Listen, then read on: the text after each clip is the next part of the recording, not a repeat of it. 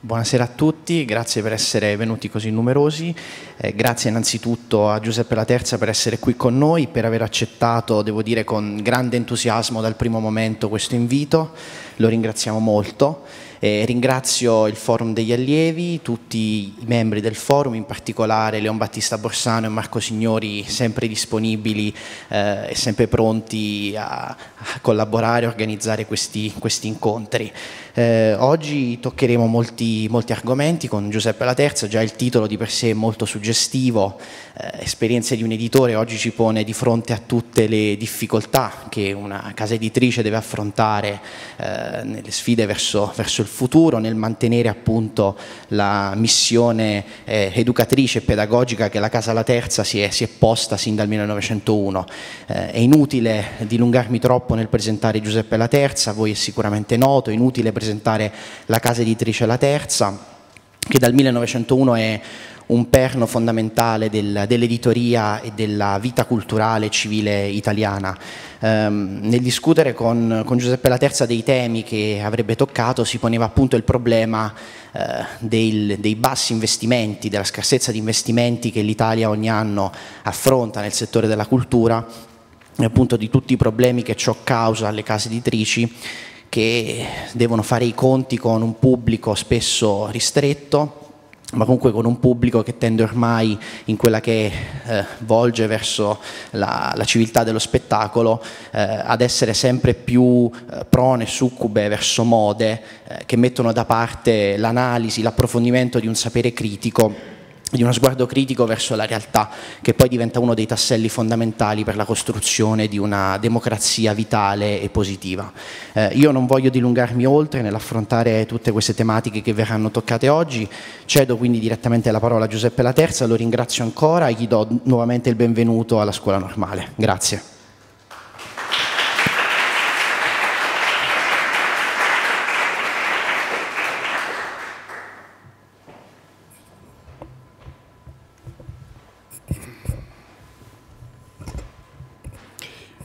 Buonasera, eh, grazie di essere qui, sono molto contento che, di avere questa occasione di incontro con voi, ehm, sia perché eh, la normale è un, diciamo, un, un luogo mitico per eh, tutte le persone che io frequento, che incontro di cui pubblico i libri, sia perché ho un ricordo personale qui, nel senso che quando stavo finendo il terzo liceo a Roma, eh, ho fatto il liceo classico al Tasso, con un mio amico siamo venuti qui e mh, mm, raccontavo prima che mh, mm, eravamo molto attratti dall'idea di provare a entrare a normale, poi ci siamo fermati perché il, ci, ci, dicevano, ci avevano detto che, non so se, se, sia vero, forse non è più vero, che la vita qui a Pisa dopo le nove di sera si interrompeva, diciamo praticamente non, come dire, era una città dove dovevi, decidi di fare il monaco per, per quattro anni e questo ci ha un po' scoraggiato. Eravamo molto attratti dall'esperienza monacale, che peraltro è una grande esperienza eh, come sapete meglio di me, è un'esperienza di intensissima vita comunitaria, io sono tendenzialmente, almeno teoricamente, un comunitarista, quindi l'idea di fare una vita di comunità mi attirava molto, però poi alla fine scelsi di fare economia e commercio a Roma, quindi una cosa completamente diversa, mi ricordo primo, la prima esperienza di corso, andai al corso di economia 1, e eravamo, credo, in una sala, insomma, in quest'aula 500 persone. E c'era un professore intelligente, molto tradizionale nel suo impianto teorico, diciamo economia ortodossa, che si chiamava Arcelli, che adottava questa tecnica interessante, cioè volendo scremare i suoi allievi faceva la prima lezione totalmente incomprensibile, cioè si rivolgeva a noi come se avessimo già 3-4 anni di economia alle spalle. Eh, quindi citava persone, formule matematiche, teorie, con grande disinvoltura. Non era forse il modo più corretto diciamo, di approcciare i suoi studenti, ma certo aveva un effetto immediato perché alla seconda lezione da 500 che eravamo, eravamo rimasti in 70. E devo dire la fortuna di, quel, di quell'università che feci è che eh, mi laureai poi con Federico Caffè, forse qualcuno si ricorda di quell'economista che scomparve in circostanze misteriose, piccolino, che una sera lasciò sul, sul suo comodino gli occhiali, le chiavi di casa tutto e scomparve. E lo cercarono in molti, molti suoi allievi e non lo trovarono. E Federico Caffè era una persona un po' misteriosa, era una persona che ha vissuto per l'università, entrava all'università alle 8 di non era sposato, era praticamente un nano con un testone enorme, entrava all'università alle 8, usciva alle 9 di sera, viveva con la mamma, poi quando la mamma è morta è vissuto con un fratello malato ed era una persona di una libertà intellettuale straordinaria, straordinaria, sempre o molt, quasi sempre del tutto imprevedibile nei suoi giudizi. Um, era la persona che ha portato in Italia, ha tradotto e ha portato in Italia l'opera forse del più grande economista del Novecento, John Maynard Keynes, eh, che era a sua volta un eterodosso, sapete che Keynes viveva a Bloomsbury, conosceva Virginia Woolf, frequentava Lytton Strachey, era un signore aristocratico nei modi e nei gusti, ma del tutto libero e, e, e radicale anche nei suoi giudizi sull'establishment inglese, criticò fortemente gli accordi dopo la Prima Guerra Mondiale, capì che quegli accordi vessatori verso la Germania avrebbero posto le condizioni perché poi si fosse, sarebbe squilibrata la, l'atteggiamento dei tedeschi o comunque la posizione della Germania nei confronti di altri paesi, insomma un economista geniale che fece negli anni 30 la, l'opera fondamentale per il pensiero successivo che si chiama la teoria generale dell'occupazione dell'interesse della moneta che poi ha determinato, ha posto le basi del welfare state del, del dopoguerra, cioè dell'idea che una sana economia non è, come si pensava prima, un'economia che mette da parte i soldi che risparmia per poi spenderli come la formichina giudiziosa, ma che in condizioni di crisi e di disoccupazione bisogna invece fare un, quello che si chiama deficit spending, cioè investire, fare grandi lavori pubblici, rilanciare la domanda. E da questo punto di vista è molto importante che lo Stato assicuri a tutti una condizione minima di cittadinanza. Sono temi che sono stati abbastanza ovvi in Europa per 30 anni dopo la guerra, fino agli anni 80, negli anni 80 è cambiata la dire, il senso comune, non soltanto l'opinione prevalente degli economisti, e siamo entrati in un periodo in cui ci si pensa che lo Stato debba cercare di tenersi fuori dall'economia e che si, i, i, siano i privati a, dover, a poter meglio gestire il mercato. Oggi che siamo in una fase di crisi economica, questa opinione è rimessa in questione dopo i danni causati anche dalle speculazioni finanziarie siamo in un periodo molto interessante perché siamo in un periodo in cui c'è una battaglia delle idee eh, per capire se questa parte del mondo uscirà da questa crisi, come sta faticosamente provando a fare, con le idee prevalenti nell'ultimo periodo o con idee nuove.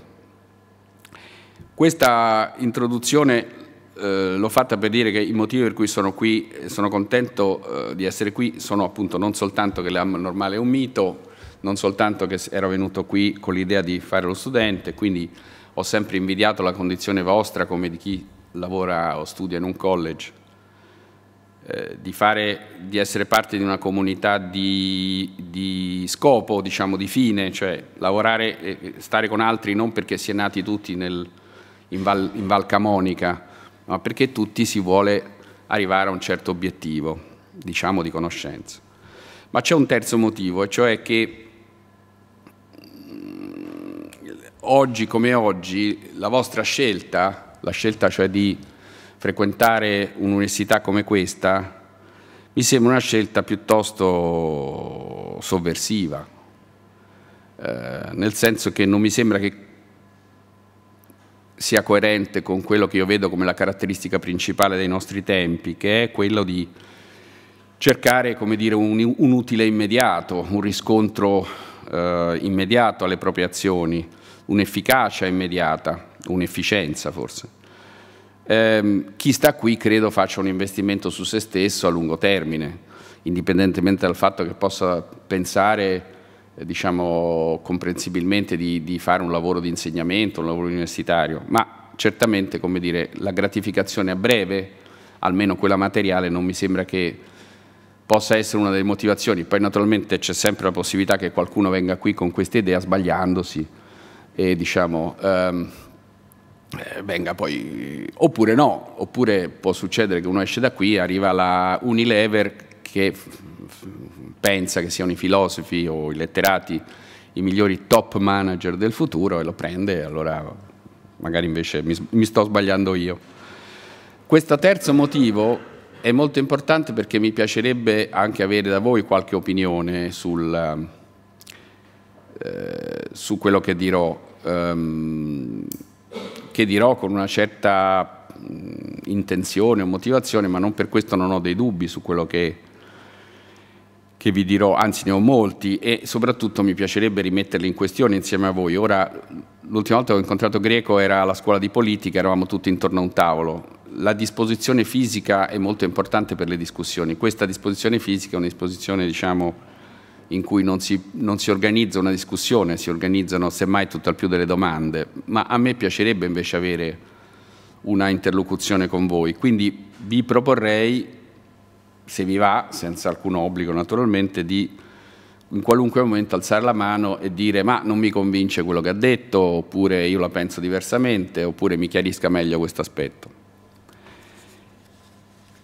Fatta questa troppo lunga premessa, ehm, il titolo molto ambizioso che ho, ho, dato al vostro collega è La libertà come cultura. Eh, io penso veramente che si è liberi se si è colti. Forse non si è felici, ecco, sulla felicità, felicità come cultura avrei più dubbi. Um, si può essere naturalmente colti e felici, e invece che si possa essere liberi e ignoranti, su questo ho più dubbi. O meglio, ci si può sentire liberi sicuramente in maniera inconsapevole e ignorante, ma esserlo nei fatti implica fare delle scelte. E allora, come dire, l'idea che che ho e che non soltanto nel lavoro editoriale, ma in tutto il nostro modo di vivere facciamo continuamente delle scelte, esserne consapevoli, cioè essere consapevoli che si sta scegliendo è una cosa importante.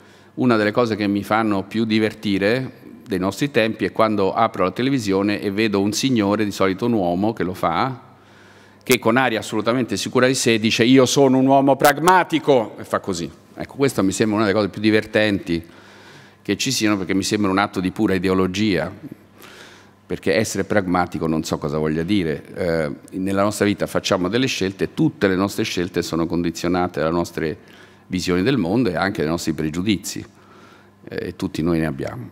Ma partiamo da alcuni dati, perché sennò, come dire, fare solo chiacchiere mi sembra che non, sia, non si addica a un, a un non professore universitario. Quel, quel, grafico, non lo so se lo vedete bene, è comunque è un grafico tratto dalla ricerca dell'Eurobarometro. L'Eurobarometro è il, um, lo strumento del, della Commissione europea eh, che misura tutta una serie di dati. In questo caso una ricerca dell'Eurobarometro dedicata ai consumi culturali. Ora non so se funziona il microfono, quello, questo. Bisogna accenderlo. Ecco. Allora, eh, questi sono le, le, i paesi. Questa è la media europea 27, questo è un indice combinato di tutti i consumi culturali, almeno dei più importanti, che sono, uh, le, le, è un problema? No, che sono uh, vedere, dichiarare di vedere programmi televisivi culturali, questo è il primo consumo culturale in Europa più diffuso. Secondo, leggere libri, cioè la domanda hai letto almeno un libro? Questo è un secondo consumo culturale. Sei andato al cinema, teatro, sei andato almeno una volta in un luogo di interesse storico-artistico, eh, hai frequentato un museo, una galleria, sei andato a un concerto e sei andato a un'opera o un balletto. Questo mi pare siano... Questo qui che vedete è un indice composito dove c'è uh, very high, cioè sei andato più di 5 volte, high credo che sia, sia andato più di tre volte, medium due volte e very low nessuna volta. Mm? E, e, questo è l'indice combinato. Ora vedete, questa è la media europea dei 27, dove very high è 5%, 13% high, 48% medium, e lì non riusciamo a vedere.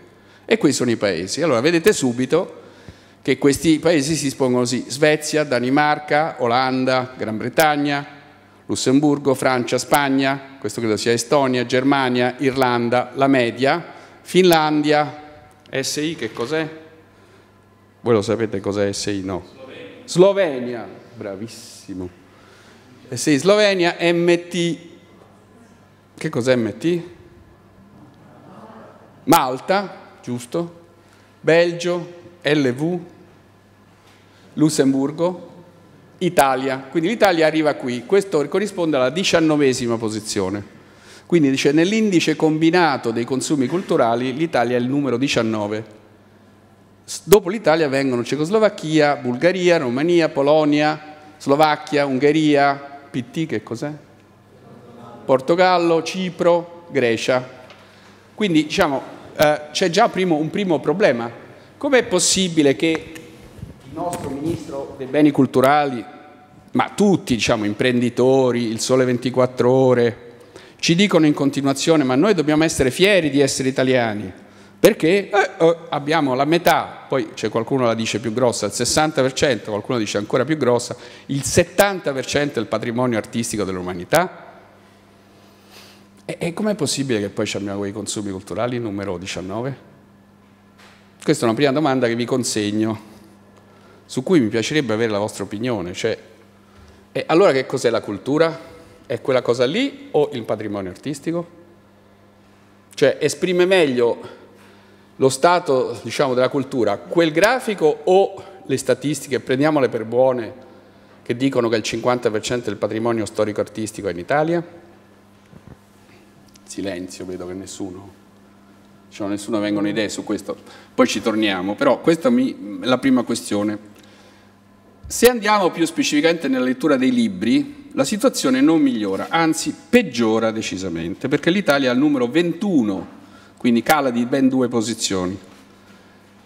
Ehm, gli italiani che dichiarano secondo questo indice, in realtà poi l'indice che fa l'associazione editori è più basso, ma diciamo in proporzione allo stesso, il 56% degli italiani dichiara di leggere un libro almeno all'anno, contro il 68% della media europea, il 90% della Svezia, l'82% della Danimarca, l'80% del Regno Unito, ehm, il 70% della Germania, 73 della Francia, 79 scusate, della Germania, 73 della Francia, eccetera, eccetera. 60 della Spagna, quindi anche la Spagna sta meglio messa di noi.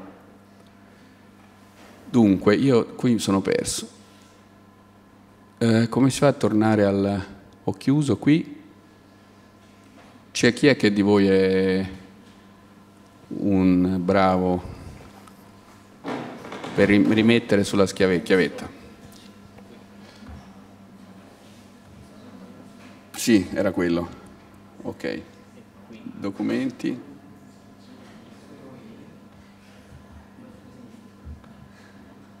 Ok. Benissimo. Oh, vediamo se è questo.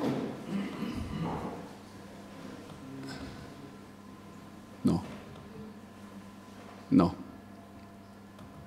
Ehm, sì, vabbè, vi faccio vedere questo, vediamo se ve lo dà. Ecco, questo qui però vi dice un'altra cosa, cioè che questo dato molto basso dell'Italia, questo ci tira un po' su, lì è il 46% che è quello delle statistiche, però vedete che è il risultato di un gigantesco balzo, cioè nel 1965 in Italia leggeva almeno un libro il 16% degli italiani, quindi siamo fermi, come vedete la, il grafico si ferma da una decina d'anni, non cresciamo, però questo corrisponde al fatto che, come sapete, ancora nel dopoguerra l'analfabetismo in Italia era molto alto, veniamo da un passato di grande arretratezza. Ehm, da cosa dipende questa arretratezza? Ehm, e quale conseguenze ha questa retratezza sullo sviluppo italiano, cioè sullo sviluppo economico e sociale? Ora, credo che su questo tema voi ne sappiate molto, probabilmente anche più di me. Ehm, non so però se avete letto, se vi capita ve lo consiglio molto, questo libro di Ignazio Visco che si chiama Investire in conoscenza per la crescita economica. È un libro del Mulino eh, di qualche anno fa, però poi è stato rivisto, dove Visco porta quei dati che spesso si citano, ma che sono abbastanza impressionanti, su come si investa molto poco per esempio in istruzione, la spesa pubblica e privata in Italia a scoppio di istruzione, questi sono dati qualche anno fa ma non credo siano cambiati in proporzione, è meno del 5% del prodotto interno lordo contro il 5,2 della Francia, il 6,1 della Germania, il 7,4 della, degli Stati Uniti. Eh, e questo solo per l'istruzione secondaria, se poi passiamo all'istruzione superiore il dato è ancora peggiore, la quota di laureati sulla popolazione in età tra, compresa tra i 25 e i 64, in Italia è pari all'11% contro il 25% della media OXE e il 23% della media dell'Unione Europea. Eh, Visco dà un giudizio molto, molto duro sulla scuola italiana, forse anche troppo. Eh, dice che nel confronto con altri paesi dell'Ocse la scuola italiana non è in grado di coltivare le eccellenze, non è in grado di alleviare lo stato di povertà di competenze dei ragazzi più svantaggiati e non è in grado di attenuare i divari territoriali. Quindi tre caratteristiche negative della scuola. E poi dice Ignazio Visco, dice il governatore della Banca, d'Italia, che quello che risulta da questo scarso investimento in istruzione e formazione, scarso investimento in ricerca, è quello che lui chiama un circolo vizioso, e cioè cito, bassi rendimenti nell'istruzione scoraggiano investimenti in capitale umano, ciò che a sua volta non favorisce la capacità dell'economia di innovare e adottare quelle tecnologie che favoriscono la domanda. Non so se qualcuno di voi ha visto quel film molto divertente che si chiama Smetto quando voglio. L'avete visto? Qualcuno l'ha visto? Sì. Beh, vi ricordate il paradosso, no? Cioè questi sono cinque ragazzi strabravi in varie materie, uno in economia, un altro mi ricordo in chimica, l'altro eccetera, che non trovano lavoro perché sono troppo qualificati, cioè la loro qualificazione universitaria è un serissimo deterrente, tant'è che ci sono alcune scenette abbastanza tragicomiche, uno che cerca di farsi prendere, non so, in una piccola fabbrichetta, dice ma tu cosa hai fatto all'università? Hai fatto l'università? Assolutamente no, io no, proprio a scuola, anzi sta bocciato poi a un certo punto si tradisce perché dice, non so, la parola corrivo, non so, dice una parola che quello non capisce. Ah, no, allora tu sei laureato, di la verità. Allora lui dice, no, io, così. E, per, e non gli danno il lavoro. E allora questi cinque capiscono che l'unico vero modo in Italia di mettere a frutto le proprie competenze e intelligenza è il crimine.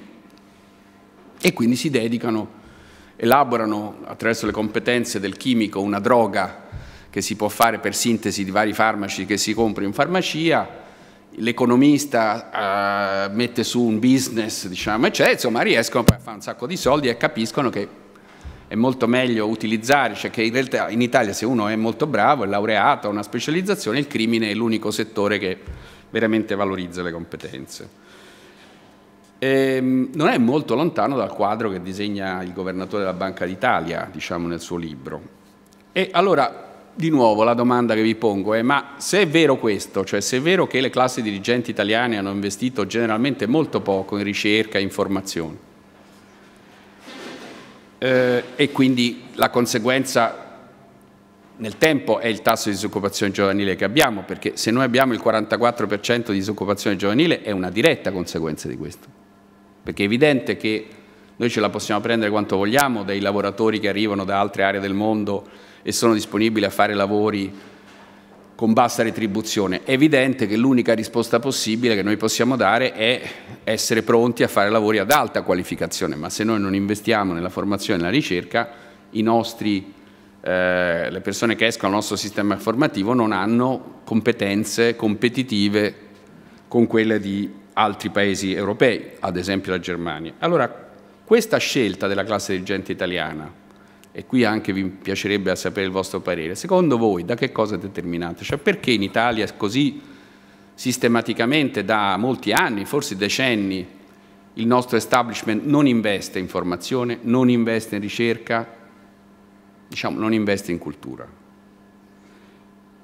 Perché, non so, potrebbe essere o un fatto di miopia, cioè a forza di essere di di essere, coltivare l'ignoranza, sono diventati ignoranti anche loro e non si rendono conto di questo nesso che dice Visco tra l'ignoranza e lo sviluppo economico e pensano che uno possa essere ignorante e ricco e invece non è così, dopo un po' la sconti. Oppure potrebbe essere un progetto consapevole di gestione del governo, lei è più convinta di questo, ecco. perché?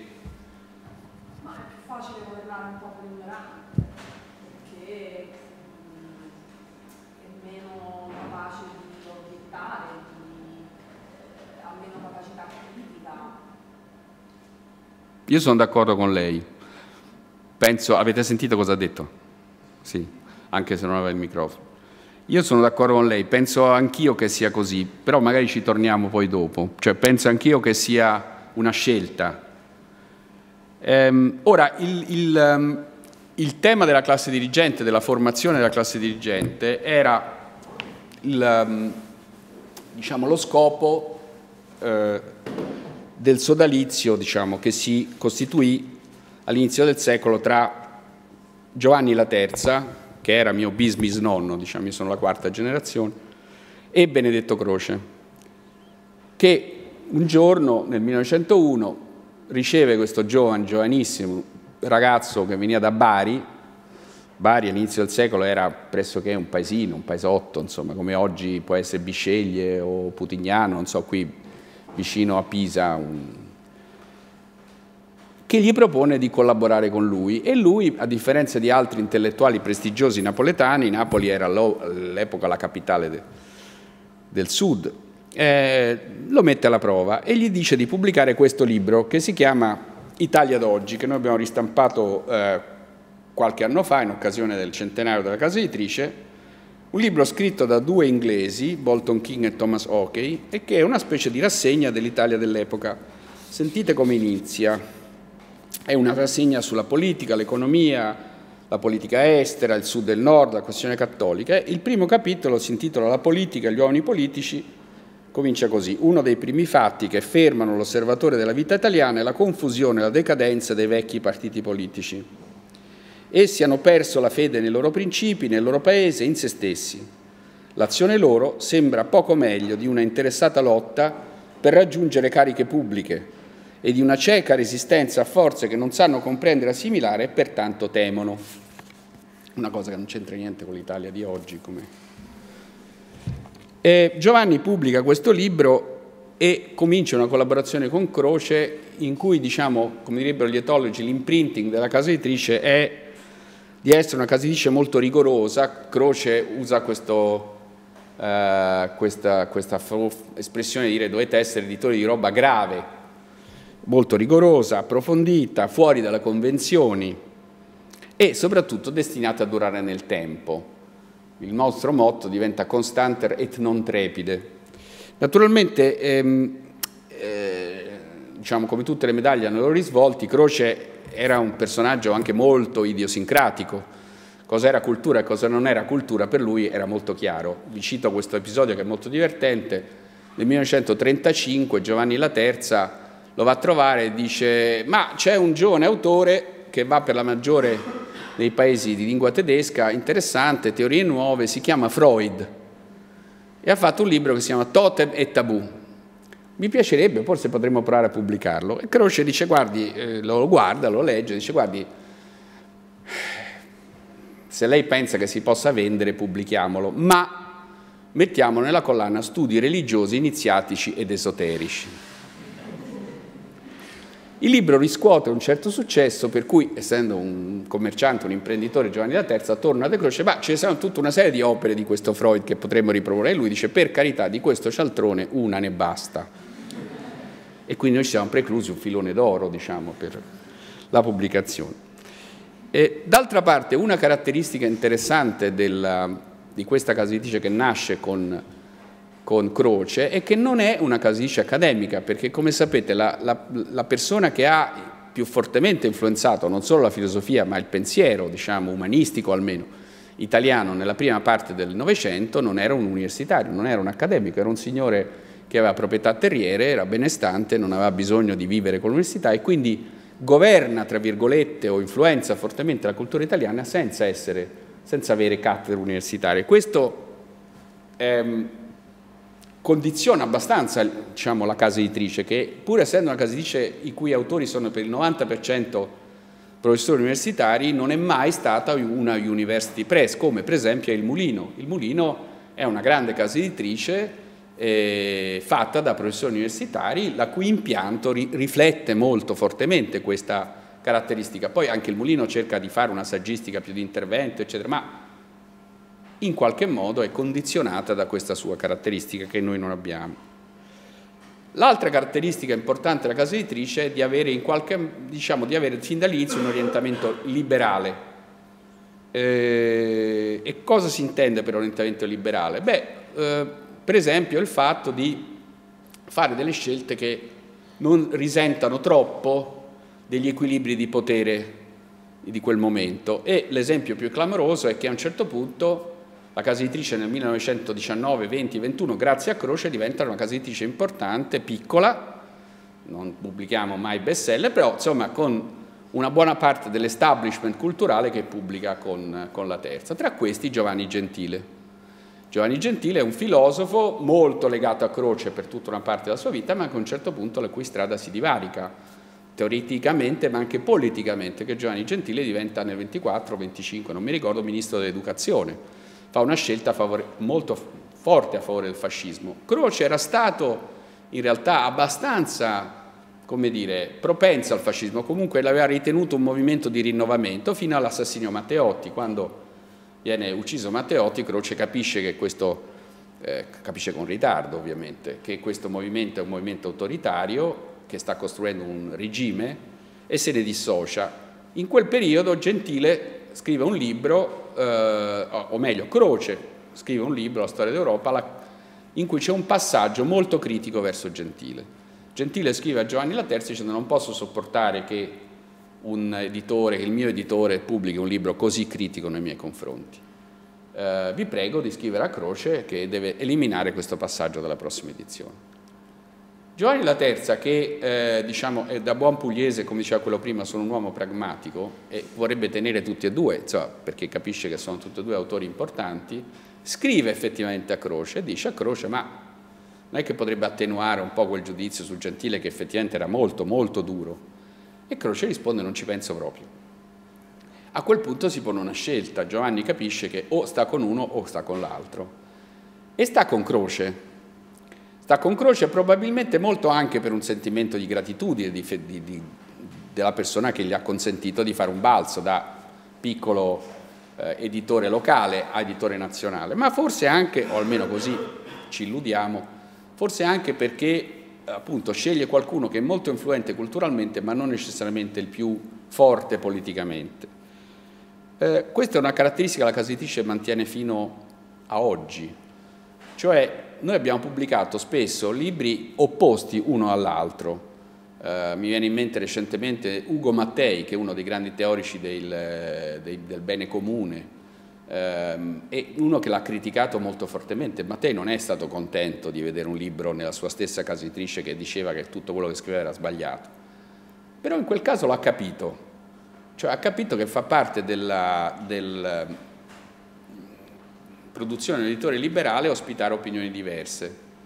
L'abbiamo fatto negli anni 60 con storici come Rosario Romeo, un liberale conservatore, e Rosario Villari, che invece è un, è un diciamo, liberale progressista, se non socialisteggiante. L'abbiamo fatto con un architetto modernista come Leonardo Benevolo e un postmodernista come Portoghesi e così via. Cioè abbiamo sempre pubblicato libri di persone che erano anche direttamente in polemica l'uno con l'altro, non avevano solo idee diverse, ma che si criticavano. Um, questo vuol dire essere neutrali? Vuol dire che l'editore è una sorta di passivo eh, arbitro che sta ai margini del campo, che non parteggia per nessuna squadra e che dice giocate perché l'importante è che abbiate buone idee? Non esattamente. Eh, anche questo nel corso del mio lavoro mi è venuto sempre più chiaro. Il pluralismo non ha a che fare con l'indifferenza o con la neutralità. Uno può immaginare, può pensare, può praticare una certa linea editoriale e al tempo stesso aprirsi ad altre posizioni. Cioè uno può immaginare che in casa editrice ci sia una linea che parte da Croce continua nel dopoguerra con mio padre, con gli scritti del, degli azionisti, diciamo, cioè Gaetano Salvemini, Ernesto Rossi, eh, e arriva fino all'oggi con gli scritti, per esempio, dei grandi teorici del pensiero liberale, Darendorf, Amartya Sen, Tony Judd. Questo è un filone che la casa editrice ha sempre coltivato, diciamo un filone liberale progressista, liberale più aperto alle istanze sociali, mettetela come volete, che può convivere nello stesso catalogo con altre impostazioni di pensiero e il catalogo si può caratterizzare in un certo senso senza per questo che diventi univoco, che coltivi solo quella posizione. Ehm, quindi il liberalismo può voler dire pluralismo ma non necessariamente neutralità. Può voler dire anche scelte molto, molto radicali e dolorose. Mio padre negli anni 60 rompe i rapporti, o meglio sono loro che rompono i rapporti con le figlie di Croce perché come spesso succede quando muore un grande personaggio della cultura i suoi eredi si ergono a vestali del suo pensiero e vogliono che sia in qualche modo imbalsamato. Quindi la loro idea era che la casa editrice doveva continuare a ristampare Croce e gli allievi di Croce. Qualunque opinione difforme da quella del padre era considerato un tradimento. E questo ha pesato molto su mio padre, ma la scelta l'ha fatta e l'ha fatta confortata da un grandissimo storico della filosofia e filosofo che ha insegnato qui per molti anni, che si chiamava Eugenio Garen, eh, che lo ha aiutato, mio padre si è laureato a Firenze con lui in filosofia nel 50 e lo ha aiutato a gestire una situazione molto difficile, anche perché che era successo nel frattempo? Che Croce invecchiando si era chiuso sempre di più. Da una parte si era estraniato dal fascismo, e questo è un fatto molto positivo, aveva costituito un polo non antifascista ma non fascista, dall'altra però si era sempre più andato chiudendo negli ultimi anni della sua vita ad altre influenze ed erano nate nuove case editrici, la più forte tra tutte è Inaudi, che era nata negli anni 30 e che nel dopoguerra si era aperta non solo alla letteratura che la terza non pubblicava, perché Croce eh, non voleva neanche che pubblicasse la letteratura perché considerava già una cosa troppo leggera diciamo, per la casa editrice, ma, eh, ma, anche per esempio all'esistenzialismo, allo strutturalismo, nuove correnti di pensiero, alla filosofia della scienza. Diciamo, ci sono tutta una serie di filoni che la terza non prende, non vede, perché Croce non voleva e Croce muore nel 52 e fino ad allora la casa editrice deve essere fedele al maestro perché è il maestro che garantisce.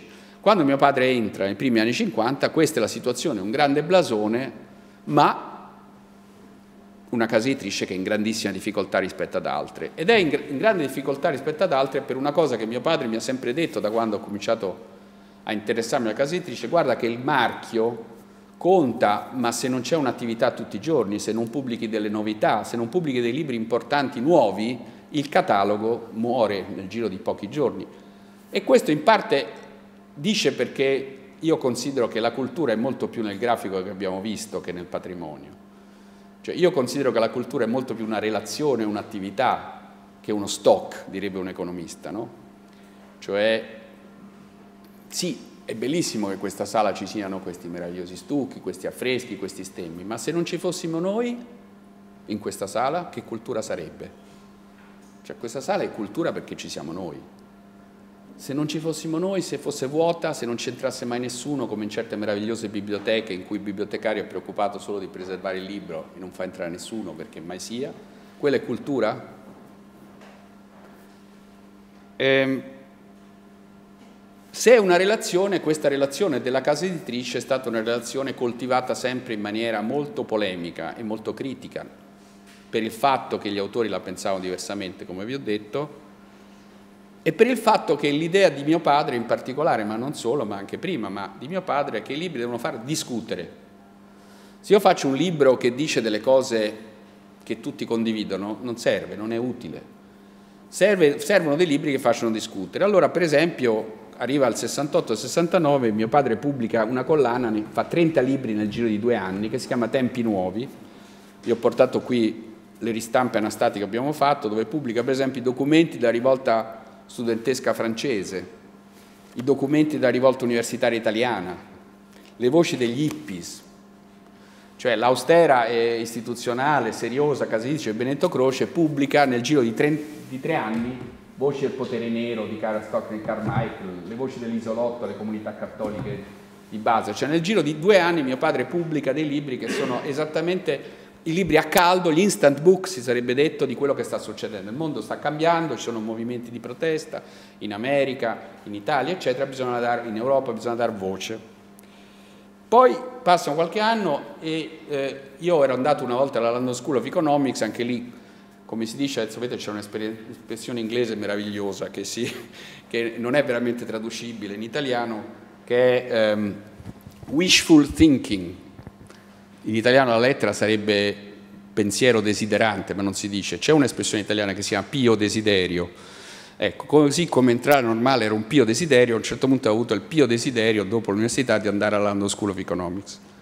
Vado a Londra, anche lì mi, mi informo e dietro al, al, al, al, building della London School of Economics c'è una libreria.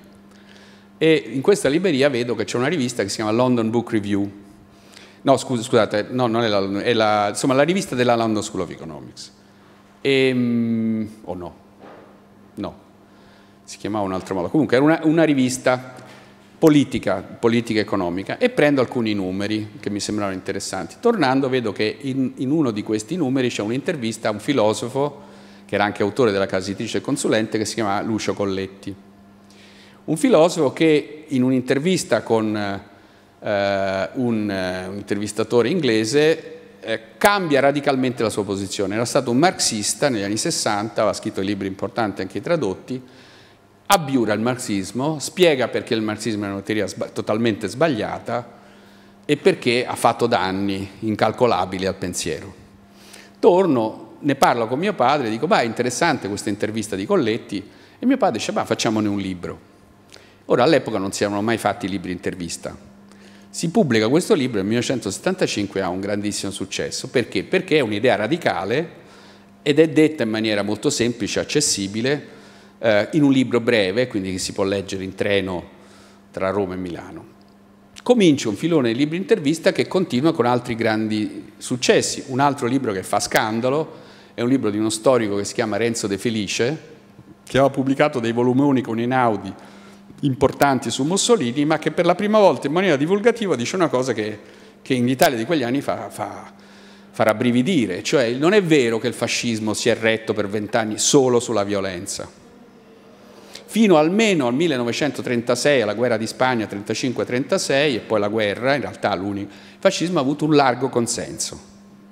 Questa cosa nell'Italia del 75 vi sembrerà strano, ma fa scandalo. Il libro viene stroncato, eh, sui giornali ci sono recensioni molto negative che dicono questo è un atteggiamento nei confronti del fascismo assolutamente intollerabile, compiacente, il fascismo è il regime dei picchiatori, del manganello, del, del confino, della galera, è una dittatura feroce. Eh, insomma, oggi la storiografia, ma anche l'opinione pubblica, ammettono correntemente che il fascismo è stato un regime che ha avuto un larghissimo consenso, o quantomeno un'acquiescenza, diciamo, da parte di molti italiani, ma all'epoca faceva scandalo.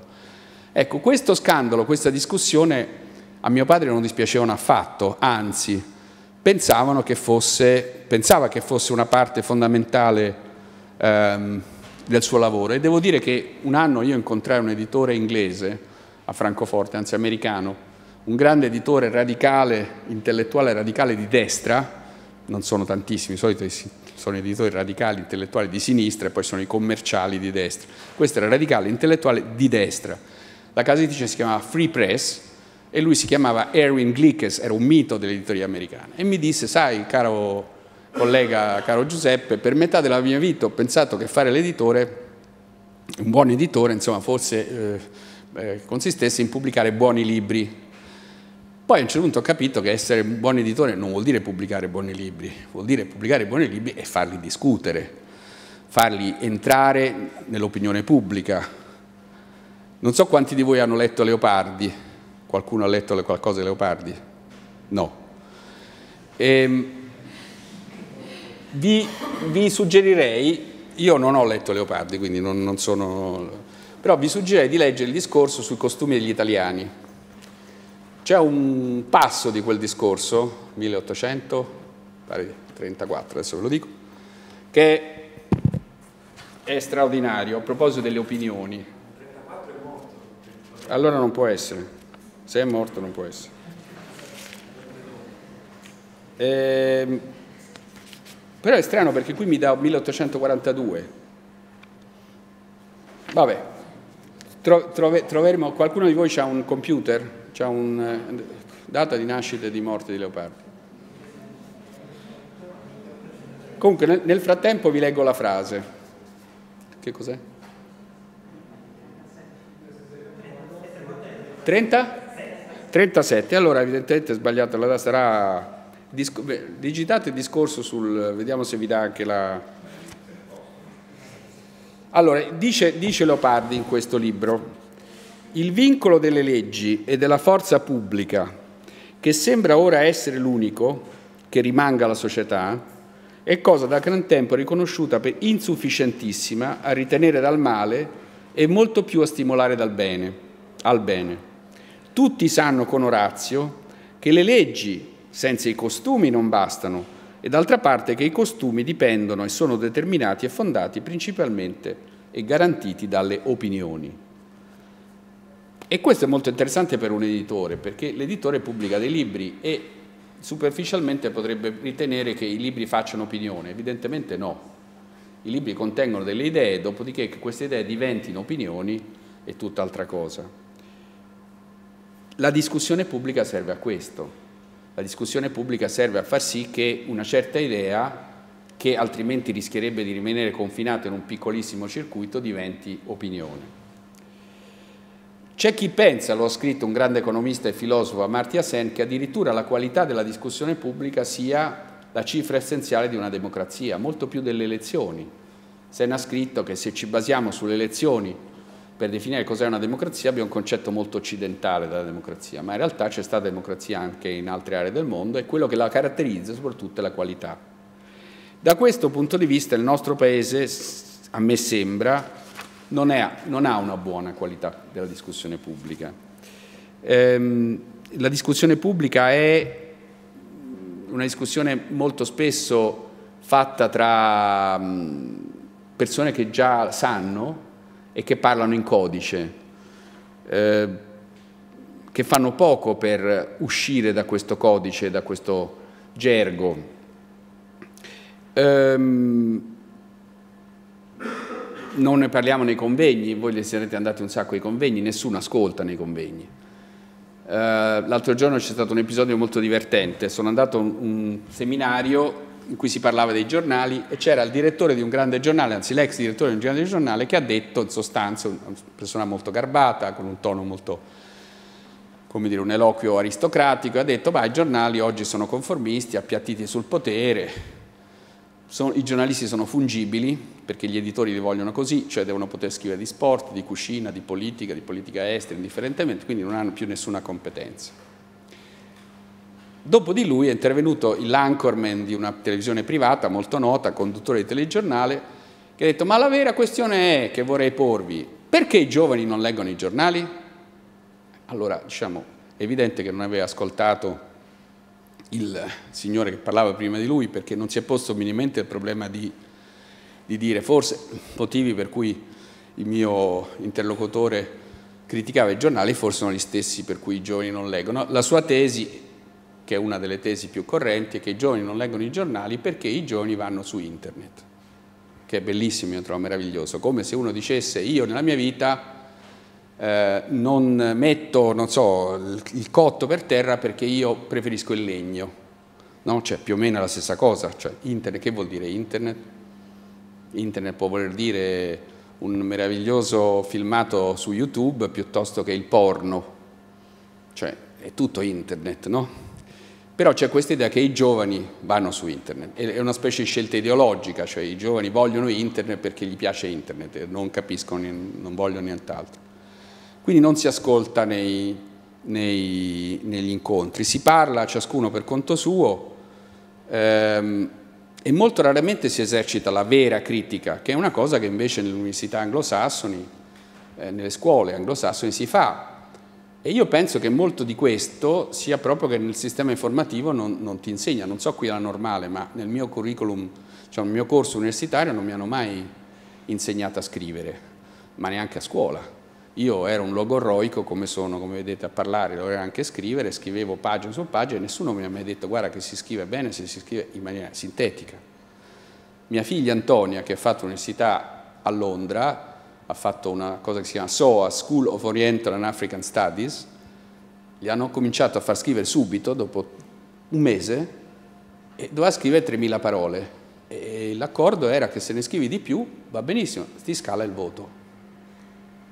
Quindi è importante come scrivi, è importante che sostieni l'argomento dall'inizio, dici qual è il tuo argomento e lo motivi, ma poi è importante quanto scrivi. Se tu questo lo scrivi in più di 3.000 parole, lo puoi fare ma il tuo voto si abbassa.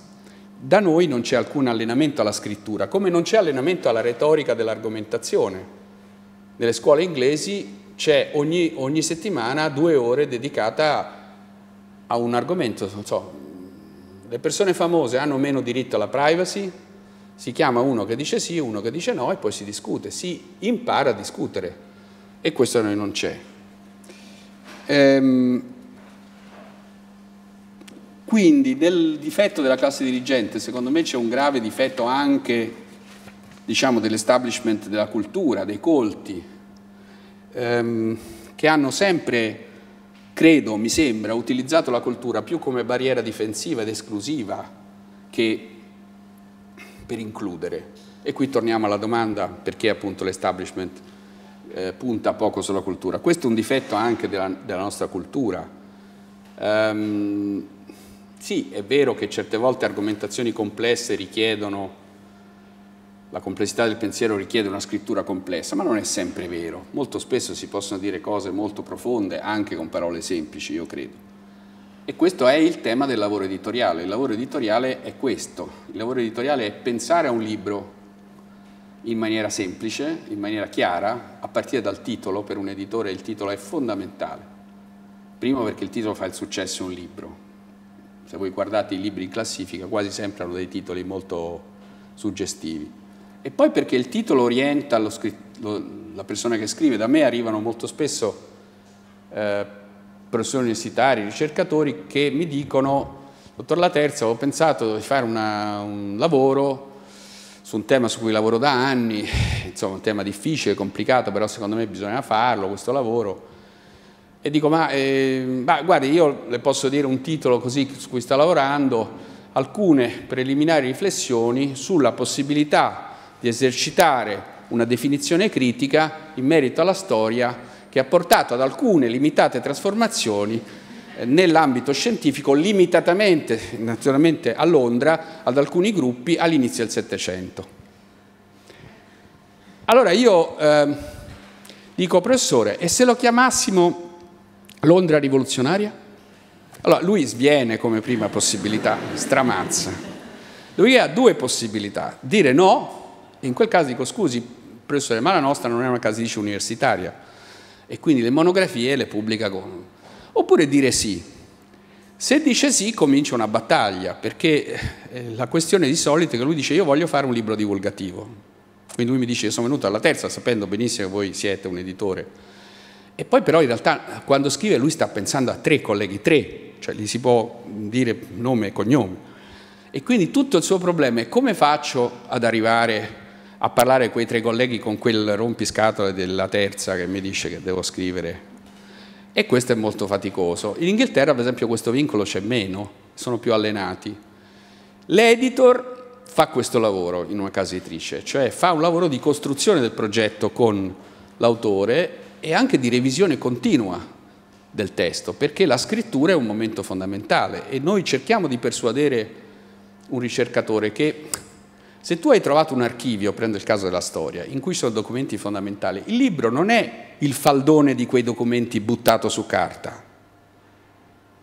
Perché se tu prendi il faldone dei documenti e lo butti su carta, stai parlando con i dieci signori interessati a quei documenti, va benissimo, del tu, operazione del tutto legittima, la puoi fare su una rivista, la puoi fare su una monografia della Cambridge University Press e ti va bene, se no di Franco Angeli, eh, ma non è quella cosa lì che chiami divulgazione. La divulgazione implica un altro lavoro, cioè prendi quei faldoni, cerchi di tirar fuori da quei faldoni quali sono le cose che ti interessa dire e poi lavori sul modo di dirle.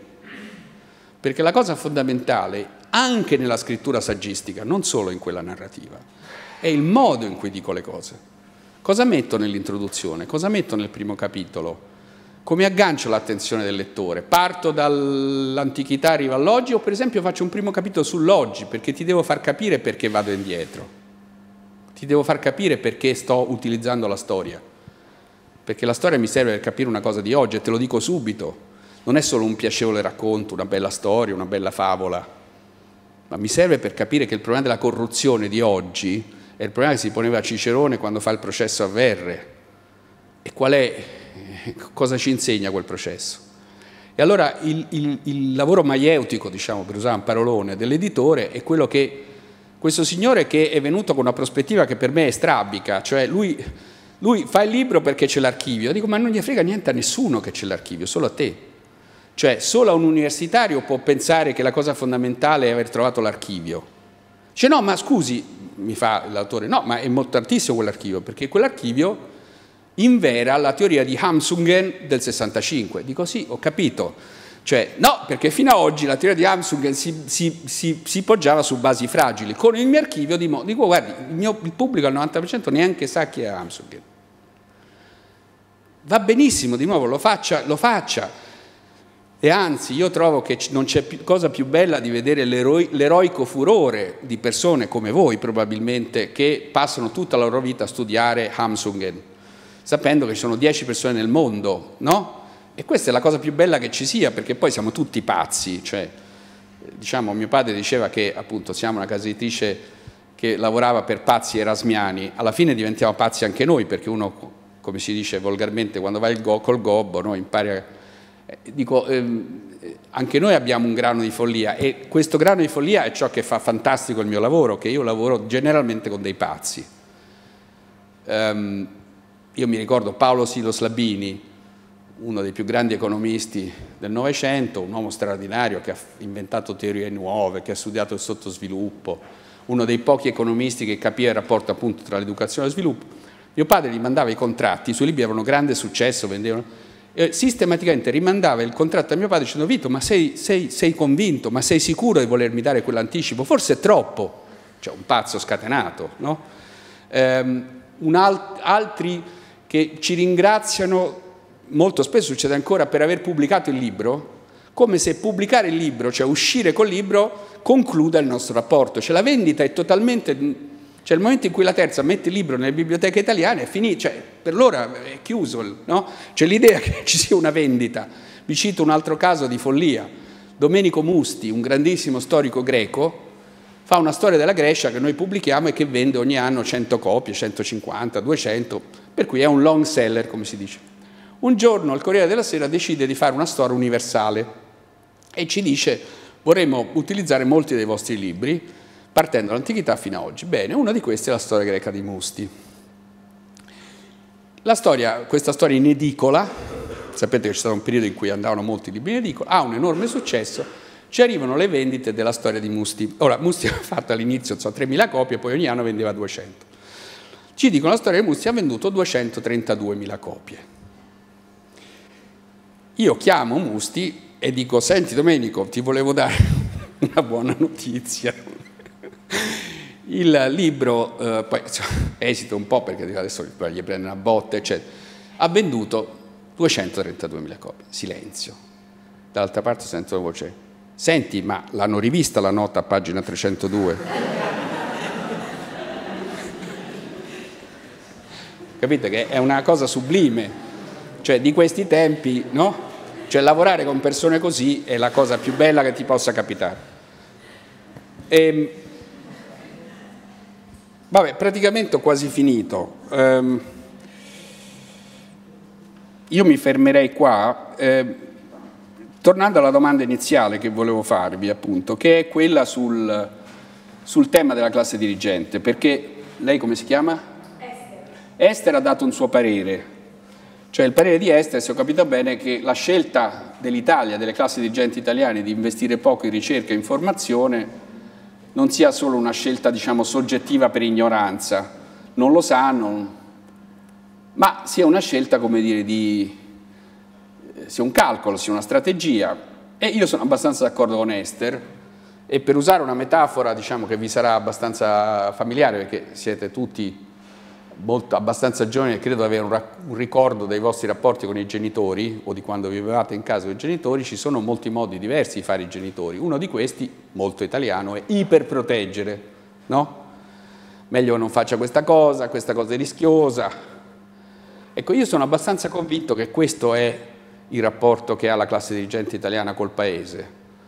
Lo considero un Paese fragile, il che in parte è vero naturalmente, cioè è vero che la storia italiana è la storia di un paese che si unifica molto tardi, di un paese appunto con alti tassi di analfabetismo, sapete che all'atto dell'unificazione solo il 2% parlava italiano, nel 1861, un paese percorso da tensioni territoriali ancora oggi tra nord e sud e non solo, un paese percorso da divisioni ideologiche, quindi che sia un paese fragile non c'è dubbio, e, però che questo paese fragile eh, si possa mantenere o far crescere iperproteggendolo e magari facendo anche come dire, operazioni coperte, no? perché no, come genitori nei confronti dei figli non diciamogli troppo, perché quello tanto non capisce, utilizza male l'informazione, poi rompe le scatole, no?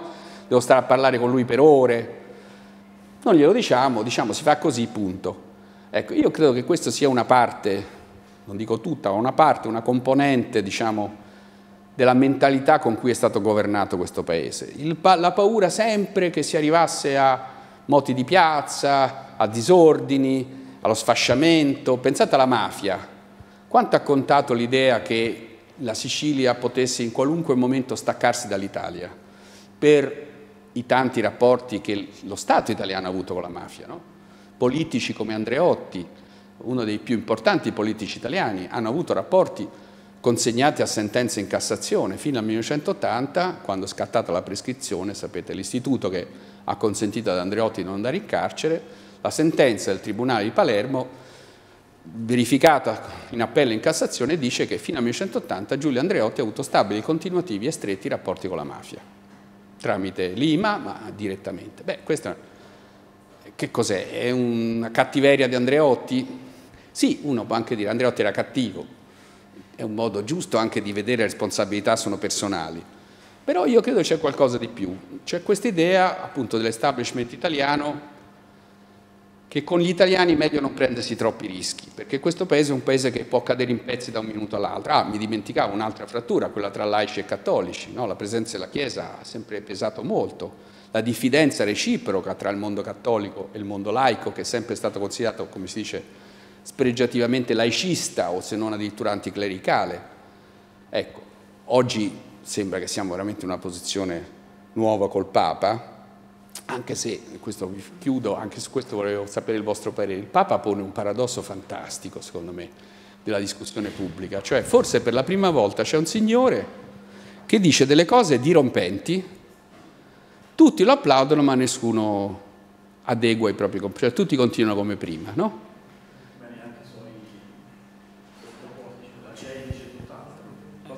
dico, la CEI sì. dice tutt'altro rispetto a quello che dice il Papa? Beh, dice tutt'altro, però non ho mai visto una dichiarazione pubblica di uno della CEI che dice il Papa ha sbagliato.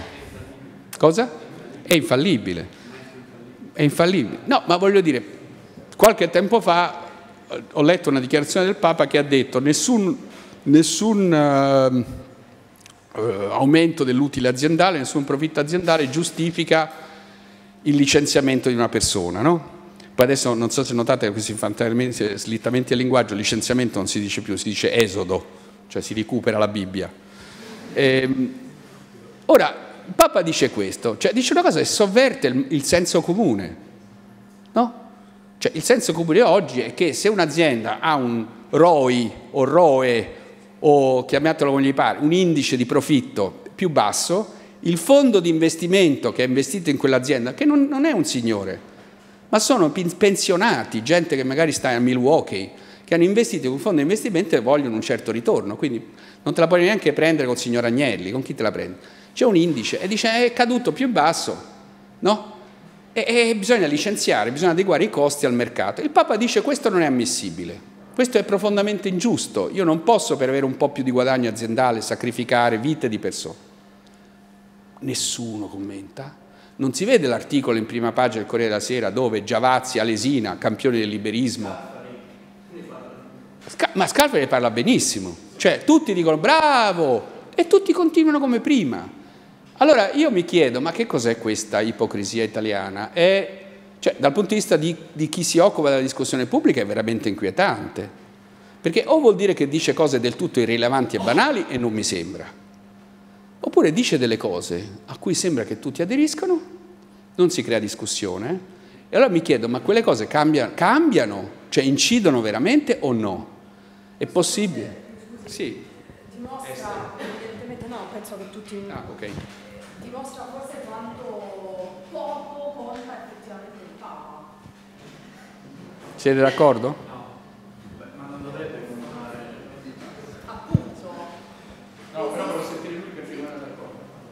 Conta per chi non lo vuole sentire, agli altri fa comodo, piace, è dolce, mansueto, è un gesuita, è un gesuita di fatto, non un gesuita come spregiativo.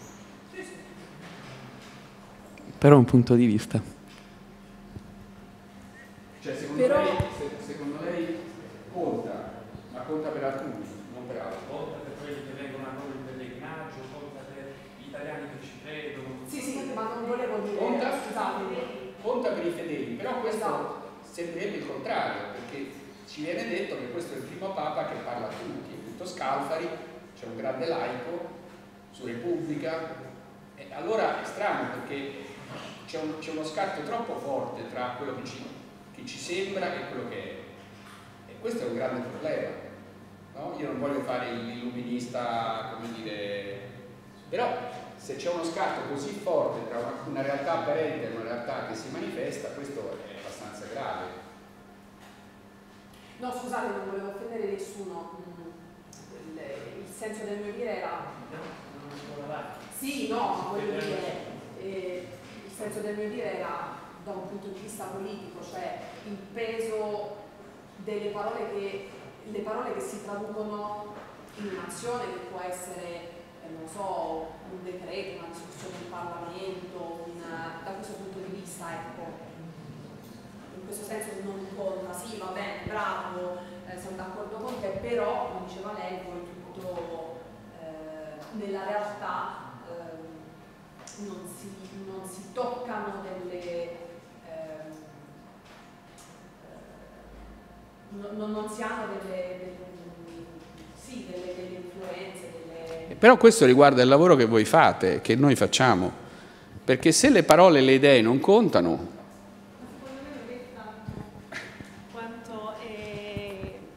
Cioè, nei grandi, proprio nella nostra eh, difficoltà nell'attivarci, cioè ok, il Papa dice questo, è una cosa rivoluzionaria, ma noi non siamo disposti ad essere rivoluzionari quanto il Papa, cioè noi siamo, quindi non agiamo in questo senso come magari lui ci dice, tra virgolette.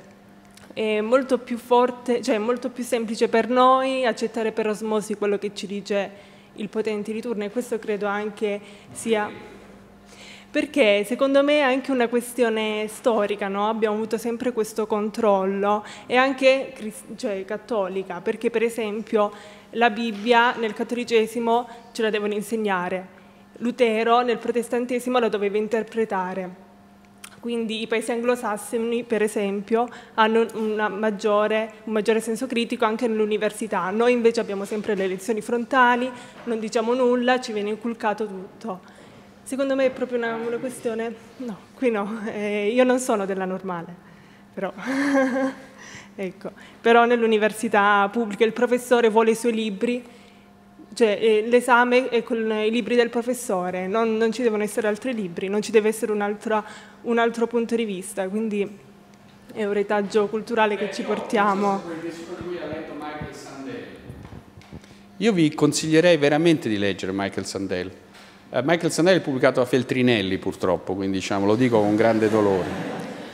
Però Michael Sandel è un professore di eh, filosofia politica che insegna a Harvard se andate su YouTube e digitate Michael Sandel, eh, trovate tutti i suoi corsi. Eh, in particolare vi consiglio una strepitosa lezione che è quella d'inizio che si chiama The Moral Justification of Murder, giustificazione morale dell'assassinio. Se voi prendete il suo corso di filosofia politica che ha pubblicato Feltrinelli, che si chiama, credo, La giustizia o qualcosa del genere, è un libro straordinario perché lui che è un comunitarista e che ha un punto di vista fortissimo sulle cose, dà sempre per qualunque argomento e procede per temi, per argomenti, il punto di vista opposto. E si fa scrupolo, si ingegna, chiaramente si sforza di dare l'argomento opposto al meglio delle sue possibilità. Cioè il suo punto è io prendo il, la, la visione del mio avversario, di quello che proprio non condivido nulla e cerco in tutti i modi di dare la forza di quell'argomento, di restituire al lettore, no? Ed è strepitoso, ed è secondo me uno dei più belli esercizi della mente che uno possa fare, no? Cioè prendere l'avversario e fare come si fa in Italia, si fa all'università come in politica, e ridicolizzarlo, è facile, è troppo facile, non è divertente, non, non ci vuole niente. Fare l'alzata di spalle, magari appunto se sei il potente di turno che lo può fare, dileggiarlo. Mentre invece cosa c'è di meglio di prendere l'avversario, anche quello che apparentemente si sembra meno intelligente, no? e dire proviamo a capire se nella sua posizione c'è qualcosa che mi serve, che mi è utile, che mi fa crescere, no? Vabbè, a parte questa lezione di Sandella ha, un, Sandella ha una capacità esemplificativa fantastica, lui comincia dicendo ci sono due tipi di etica, l'etica delle conseguenze e l'etica eh, kantiana, cioè l'etica del, del, dell'atto in sé. E dice immaginate di essere eh, alla guida di un camion, una strada che scende, prendete sempre più velocità e vedete che in fondo alla strada ci sono cinque operai che stanno facendo i lavori, hanno le cuffie e non, non vi sentono, stanno trivellando la strada. Mettete il piede sul freno e vi rendete conto che il freno è rotto. A quel punto entrate nel panico perché capite che di lì a pochi minuti col camion travolgerete cinque operai e li ucciderete. Siete disperati. Quando vi rendete conto con la coda dell'occhio che in realtà c'è una stradina laterale per cui girando il volante potreste evitare di ammazzare i cinque. Eh, però in questa stradina laterale c'è un operaio che sta facendo i lavori, la stessa condizione, quindi ammazzate quello. Cosa fate? Girate il volante o no? E lui chiede ai suoi mille studenti, lo fa lezioni in un teatro meraviglioso, perché appunto essendo il più popolare di tutti i professori, e quasi tutti alzano la mano, e lui comincia con quelli che non l'hanno alzati, che danno strane risposte, tutti ridono, eccetera, e poi diceva, uno di quelli che ha alzato la mano, dice, perché è ovvio, meglio ammazzarne uno che ammazzarne cinque. Beh, dice, questa è l'etica delle conseguenze, è l'etica di Bentham, degli utilitaristi, il bene e il male si misura sulle conseguenze che produce l'atto. Dice, ma voi pensate che sia così ovvio questo modo di... Eh, c'è anche l'etica dell'atto in sé, Prendiamo lo stesso episodio, la stessa scena, la stessa situazione, ma vediamolo da un altro punto di vista. Voi non siete il camionista, voi siete un signore che sta su un ponticello prospicente ai cinque che stanno trivellando e vedete un camion che si avvicina. Siete uno spettatore, diciamo.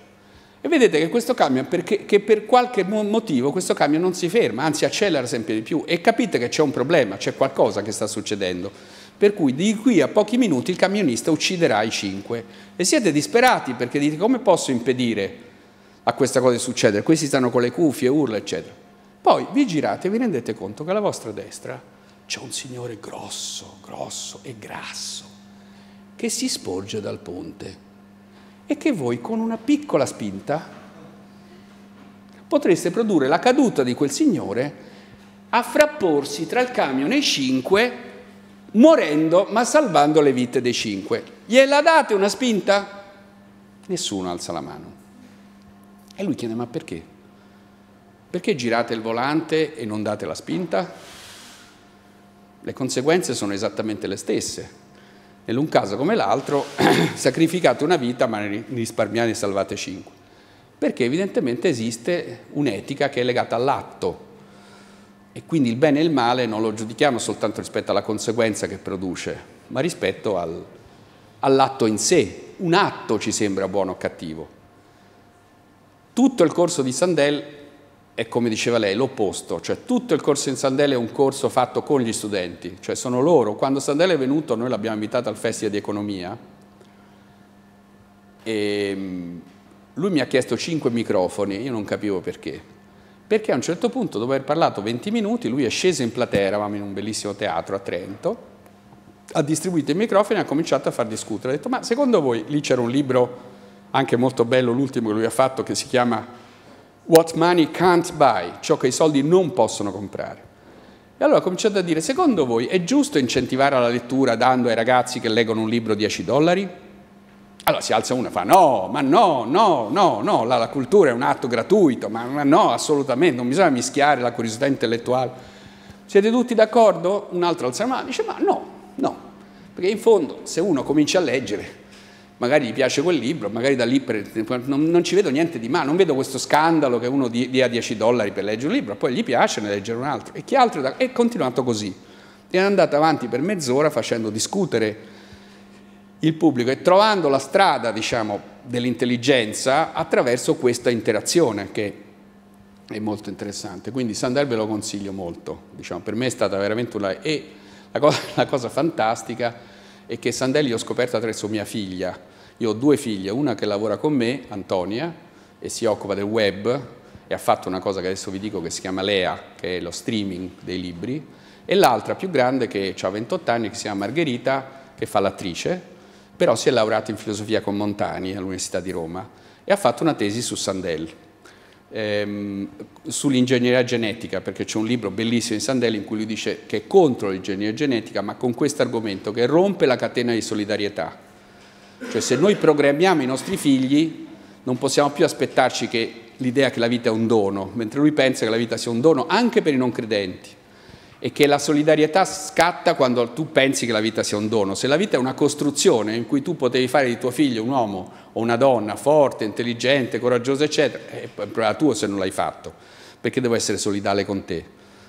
Um, e mia figlia mi ha fatto scoprire Sandel, cosa che cito spesso quando si sente dire, non so l'avete sentito anche voi dire questa cosa fantastica, che si sente continuamente dire i giovani oggi cioè, oggi per la prima volta si è ribaltato il rapporto tra le generazioni. Di solito sono sempre le generazioni più anziane, più vecchie o più grandi. Sapete che oggi il giovanilismo italiano fa sì che a 80 anni quello dice è più grande e più piccolo di me, a 80 anni. No? Le generazioni più giovani, eh, più grandi, imparano dai più giovani. Per la prima volta imparano i più giovani. Perché? Perché i più giovani conoscono la tecnologia. No? Cioè, sarebbe dire come un imbecille smanettone insegna al papà. Questa è una roba allucinante, cioè mai in passato nella storia si è ritenuto che la tecnologia fosse la materia fondamentale nel rapporto delle generazioni. La materia fondamentale nel rapporto delle generazioni è la saggezza, diciamo, è la capacità di vivere bene, è la qualità diciamo, del modo in cui affronto la vita. Ma noi abbiamo evidentemente, noi della nostra generazione, riteniamo di non avere niente più da insegnare e quindi la cosa fondamentale è la tecnologia, cioè la competenza tecnologica è quella che caratterizza diciamo, il sapere di oggi e quindi sono i giovani che ci insegnano. Ecco, nel mio caso devo dire più, una delle cose più importanti che ho imparato negli ultimi, negli ultimi anni è il pensiero di Sandella e questo me l'ha trasmesso mia figlia e per me è molto più importante questo che la tecnologia, proprio la tecnologia la impari. Un, un modo, una prospettiva per vedere le cose, pensare per esempio come pensa Sandel che ciascuno di noi, come pensa Papa Francesco, eh, sia fatto più di relazioni che di autonomia, che sono tutti e due poli del nostro essere, e che però la relazione conti di più, quindi è costruito attraverso le proprie relazioni, per me è molto importante, cioè una cosa che mi guida nel... No? Comunque tornerei, io finirei qui, eh, tornerei alla domanda iniziale perché non si investe in cultura? Cioè perché il caso della normale in cui una grande istituzione investe in 300 studenti, prende in carico per qualche anno, scommette su di loro, prova a vedere se da lì si, si tirano fuori idee nuove, appunto scatta innovazione, perché questo è un caso abbastanza isolato in Italia? Cioè perché la, la normale non è diventata un modello per altre università? Eh, questa è veramente una questione che per me è molto importante perché costruisce diciamo, il mio lavoro, costruisce le persone a cui mi rivolgo. Prego. Che c'è diciamo, una sfida culturale, ma diciamo, la cultura esiste in quanto esiste prima l'educazione, manca soprattutto un'educazione alla cultura e parte fin da piccoli E io mi aggancio, lei prima citava Leopardi, io torno indietro e cito Carducci naturalmente, perché Carducci fu un grande lungimirante e capì l'importanza della eh, cultura, ma della cultura elargita a tutti. E naturalmente ci fu l'obbligo dell'istruzione, noi la chiamiamo oggi primaria, ma all'epoca era elementare. Adesso c'è una sfida, qui si tratta comunque di giovani molto fortunati perché comunque indipendentemente dal loro, dalla loro provenienza, dal loro ceto, dalla, dalla loro eh, capacità economica o comunque dalla capacità economica parentale, si tratta di avere diciamo, degli accessi all'università. Io parlo soprattutto perché non facciamo in modo che l'università, italiana, ma comunque mondiale, che non si è ancora arrivati a quello, diventi non un lusso per pochi e di pochi, gestito da pochi e quindi diventa una specie di mafia interna culturale che gestiscono anche sapere, impediscono comunque la libertà alle persone comunque di scrivere sempre, eh, perché uno scrittore non può scrivere sem- semplicemente perché è famoso e quindi smette di scrivere a 20 anni perché deve raggiungere i 50 anni per riuscire a essere scrittore. Uno scrittore è e basta indipendentemente dalle, eh, dal successo che potrebbe avere, lo insegna Dante, lo insegna Leopardi, lo insegnano. Quindi si dovrebbe fare uno scatto in più e fare in modo, cosa che i governi non hanno mai fatto e non hanno mai pensato, ma non hanno mai pensato neanche gli intellettuali, di fare in modo che l'università sia effettivamente un diritto acquisito per tutti e quindi renderla obbligatoria e fare in modo che tutti a livello nazionale riescano ad accedere all'università. Ecco, lì sarebbe un grande investimento dal punto di vista anche economico, perché poi la preparazione degli studenti universitari è diversa di un ragazzino di 16 anni che rimane comunque e attende un corso e va avanti nel corso degli anni a fare corsi, non corsi che costano un sacco di soldi allo Stato, eccetera. Quindi questa è la libertà comunque, perché se no non diventa un sapere egualitario, ma diventa un sapere elitario. Poi volevo rispondere solo alla signorina, solo un attimo, che dal punto di vista religioso un conto è il dogma, un conto è le esigenze della persona. Lei citava prima Lutero, ma Lutero aveva una grande esigenza, l'esigenza di sposarsi comunque con la donna che amava, che era una monaca. Quando scoprì praticamente, quando il Papa per secoli vietava la lettura della Bibbia e imponeva solamente la lettura del Vangelo. Cosa hanno scoperto? Cosa scoprì Lutero? Leggendo comunque la Bibbia e non le parti della Bibbia che gli arrivavano tradotte, che comunque i sacerdoti potevano comunque sposarsi. Quindi lui semplicemente ha letto un testo precedente al Vangelo che gli consentiva una determinata libertà. Ecco, e da lì nacque la riforma protestante, per un'esigenza comune.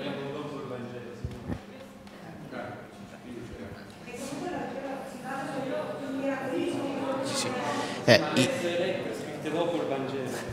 io volevo ricondurre un po' la, la sua riflessione partendo appunto da questi spunti sull'università. Um, ne parlavamo anche prima, uh, prima dell'inizio della, della discussione.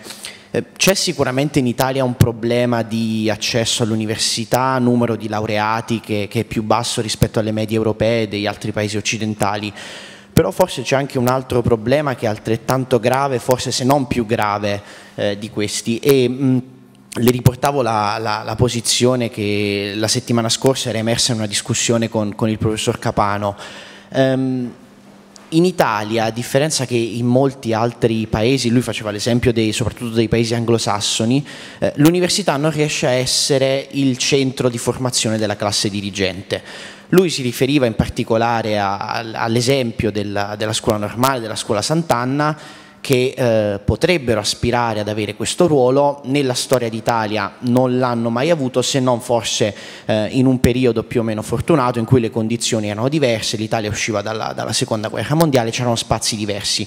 Io mi chiedo forse il problema è proprio che quando noi ragioniamo di investimenti in cultura in Italia, ci chiediamo se appunto eh, la, quella da parte appunto della, della, della classe che che governa, la classe dirigente, sia una scelta consapevole, sia miopia.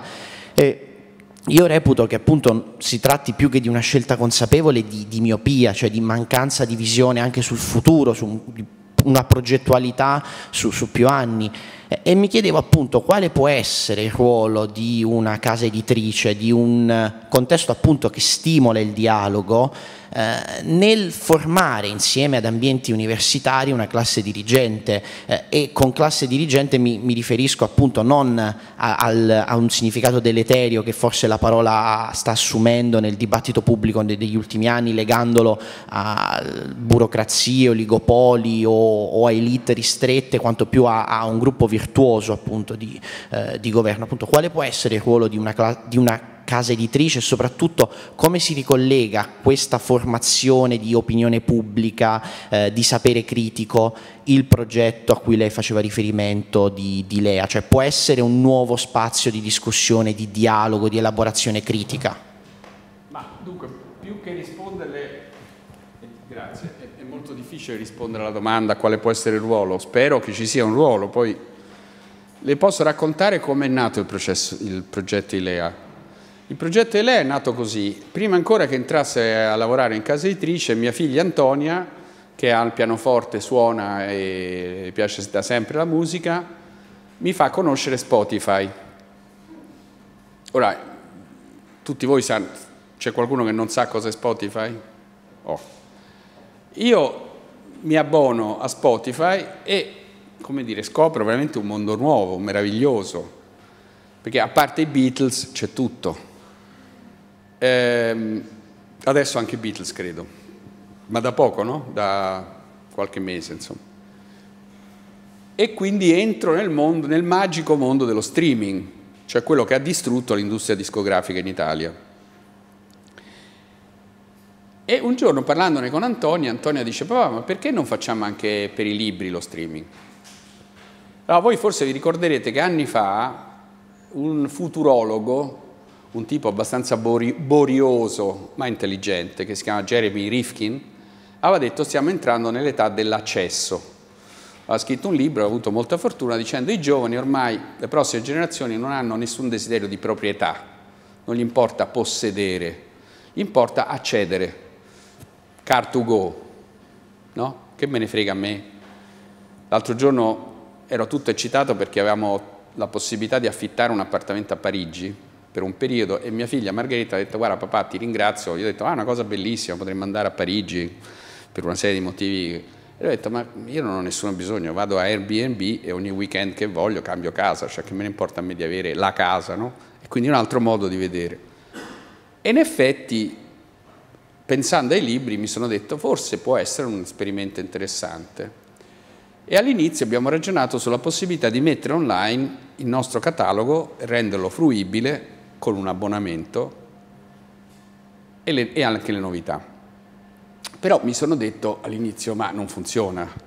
Non funziona perché se un singolo editore mette i suoi libri su internet è come se li mettesse soltanto in nirvana, cioè non, non, non, basta che un singolo gruppo, ancorché molto popolare, la forza di Spotify è che hanno tutto, è che tu metti Mozart e hai Mozart e metti appunto eh, dire, qualunque gruppo che il minuto dopo che è uscito un, un, uh, un, uh, un brano ce l'hai. E quindi mi sono detto così non funziona, non funziona. Però poi mi sono detto forse c'è un'altra cosa per cui può essere interessante fare un circolo di streaming di La Terza, che è il fatto che se esce un libro di una certa persona su un tema molto interessante, si può raccogliere una comunità che discute online, cioè che entra in questo club, entra in questo uh, club di streaming e uh, fa un thread cosiddetto, cioè entra e dice a Rodotà guarda che sul tuo ultimo libro Diritto d'amore quella parte non mi convince e ne discuto con gli altri. Ed è una discussione diversa rispetto a quella che ho online normalmente, dove chiunque può arrivare e dire la qualunque. Questo è un club dove ti devi iscrivere dai le tue generalità, dai la tua mail e quindi in qualche modo, anche se il pazzo può capitare sempre, ma insomma è un ambiente più riservato, devi anche pagare un mensile. E forse questo senso di club intorno a una casa editrice può avere... Però mi sono detto alla fine neanche questo basta a giustificare un investimento in una cosa che non esiste nel mondo, non c'è nessuna casa editrice che abbia una cosa del genere. La cosa che veramente mi ha convinto alla fine come terzo elemento è stato il fatto che ho detto ma qui in realtà può aprirsi uno spazio per un modo totalmente nuovo di fare il mio lavoro, cioè un modo totalmente nuovo di fare l'editore. Eh, pensateci un attimo, io posso mettere un testo in una fase iniziale e lo cambio mano a mano. Cioè, Rodotà dice, io ho un'idea che mi è venuta facendo una lezione all'università, diritto d'amore, vorrei scrivere un libro. Metto subito il testo della lezione. Posso far cambiare quel testo una volta che l'ho pubblicato e integrarlo ogni volta. Rodotà torna che ha visto un bellissimo film e dice, caspita, questa è una cosa che non ci avevo pensato. Intervieni e cambi e metti nella versione online. Ma mica ti fermi a questo, puoi metterci una musica, puoi mettere un filmato, puoi metterci una discussione che hai avuto con un'altra persona, puoi pensarlo dall'inizio come un testo che interagisce con le immagini, con i video, con i film. Cioè puoi fare un'operazione intellettuale completa, cioè, che rinnova completamente il lavoro dell'editore. Perché diciamoci la verità, fino ad oggi l'editoria digitale in che cosa si è concretizzata? Nel fatto che gli stessi identici testi che erano su carta si mettevano in formato elettronico. Quali sono le grandi virtù degli ebook che sono state così tanto decantate? Il fatto che erano pratici perché sul tuo tablet ne puoi mettere 3000. Il fatto che le persone anziane possono leggerle, per carità, cose importanti, ma non, non, non, non cambiano il concetto. Mentre il libro, il libro, quando Gutenberg lo inventa, cambia il concetto di lettura. Cioè il libro è una tecnologia eh, che ha a che fare con una rivoluzione del pensiero. Prima la signora citava, o lei citava il Vangelo, la Bibbia. Non è un caso che sono i classici, che è la Bibbia. Non è un caso che all'inizio della sua circolazione il libro sia fatto soprattutto di zibaldoni, cioè sia fatto di raccolte, e che la forma libro privilegiata è il romanzo dell'Ottocento, e col romanzo dell'Ottocento, col grande racconto, che si struttura la nostra visione lineare narrativa del mondo, che si struttura il fatto che quando noi parliamo di noi ne parliamo o ne parlavamo in senso cronologico. E non è un caso che oggi si dica che col web questa visione è rimessa in questione, e che quando noi navighiamo sul web i nostri percorsi sono molto più articolati, non c'è un percorso lineare, no? Questo ha a che fare con la tecnologia del libro. E come lavoro io quando lavoro con un autore? Lavoro in termini di introduzione, primo capitolo, secondo capitolo, quarto, eh, conclusione. E non è solo per la storia che questa è una narrazione cronologica, si comincia nel 1800, si finisce nel 1850, eh, ma è per tutto, c'è un andamento lineare. Allora, poter rimettere in questione questo è attraverso, utilizzando la tecnologia, che non è il fine, ma ha bisogno di un mio pensiero nuovo, ha bisogno di un modo diverso per me di guardare la realtà e di trovare una misura di questa realtà suggestiva, coerente, complessa, che mantenga la complessità con la coerenza della complessità, perché la cosa che per me è più interessante di Internet è questa. Internet ha delle potenzialità straordinarie, ma oggi si presenta soprattutto come una serie di nicchie. Si presenta come una serie straordinaria di possibilità che io mi metto in contatto con quelli che in tutto il mondo gli piacciono i manga delle tribù. Fantastico, cioè come disse Marino Sinibaldi quando fece con noi il libro intervista, eccetera, disse io sono un ragazzetto di Velletri, vado al bar, tutti i miei amici parlano di, di calcio, a me di calcio non me ne frega niente, cioè proprio non l'ho mai sopportato il calcio, sono un emarginato, sono un emarginato. Vado su internet e mi metto in comunicazione con tutti quelli a cui piace, non so, il rock horror del gruppo i giapponesi che condividono, è fantastico, crea una comunità che prima non avevo, meraviglioso. Però la mia domanda è, basta questo? È questo quello che ci piace di più? La creazione di comunità separate? Oppure la cosa interessante qui alla normale è che si incontrano persone che vengono da varie parti d'Italia e magari a uno gli piace la storia contemporanea, all'altro gli piace la filosofia, all'altro la fisica, ma in qualche modo hanno anche dei temi comuni? ma in qualche modo litigano anche su cose che li tengono insieme, o l'ideale è che ognuno si faccia i fatti suoi? andando fantasticamente in profondità, ma essendo un meraviglioso tecnico, diciamo così, specialista del suo argomento. E questa è la cosa migliore? Appunto, tornando al tema classe dirigente, cosa terrà insieme la classe dirigente, diciamo, di quando voi avrete 30, 40, 50 anni? Qual è il legante? Cioè, qual è il dato comune? Ma, per esempio, per esempio, voi non sarà il libro vostro, ma Harry Potter è stata la più strepitosa lettura comune di un'intera generazione. La mia generazione non aveva un Harry Potter. Lì c'è stato un momento in cui tutti i ragazzi di una certa fascia d'età nel mondo, almeno nel mondo occidentale, leggevano Harry Potter e questo va molto bene, se soprattutto è un bellissimo libro come Harry Potter.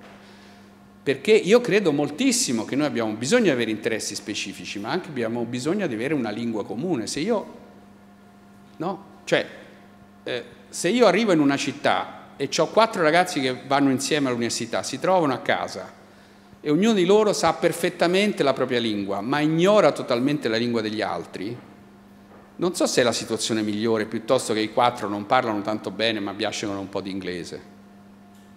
Cioè, da una parte uno può dire, ma se io conosco perfettamente la mia lingua, la mia ricchezza concettuale è, proporzionale. È proporzionale. Sì, è vero.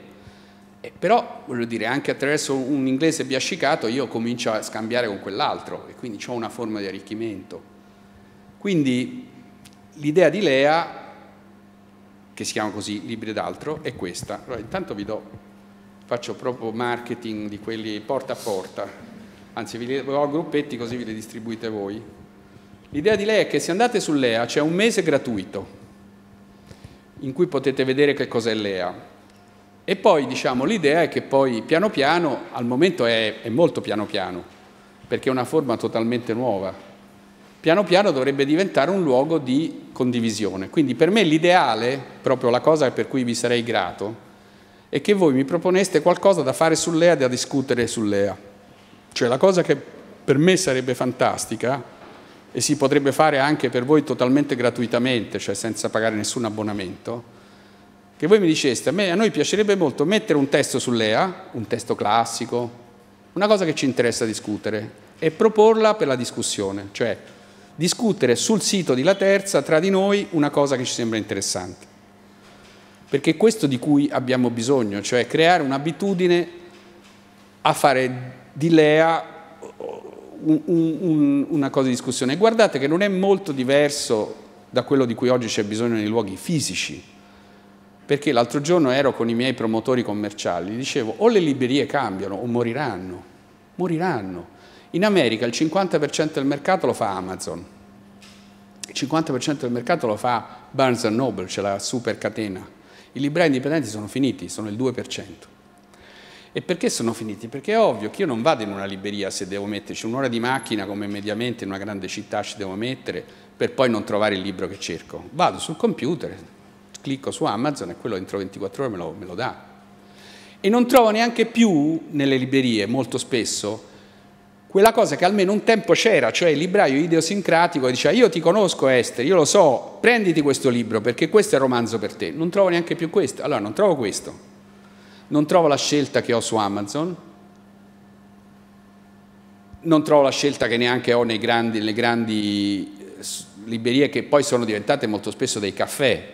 Se, se voi andate a Waterstone a Piccadilly c'è un bellissimo ristorante all'ultimo piano dove un sacco di gente si incontra, beve il caffè, cioè sono luoghi di incontro. Allora dicevo ai miei promotori, in realtà i librai dovrebbero fare questo oggi, cioè dovrebbero pensare che la libreria è un terminale dell'animazione culturale della loro città.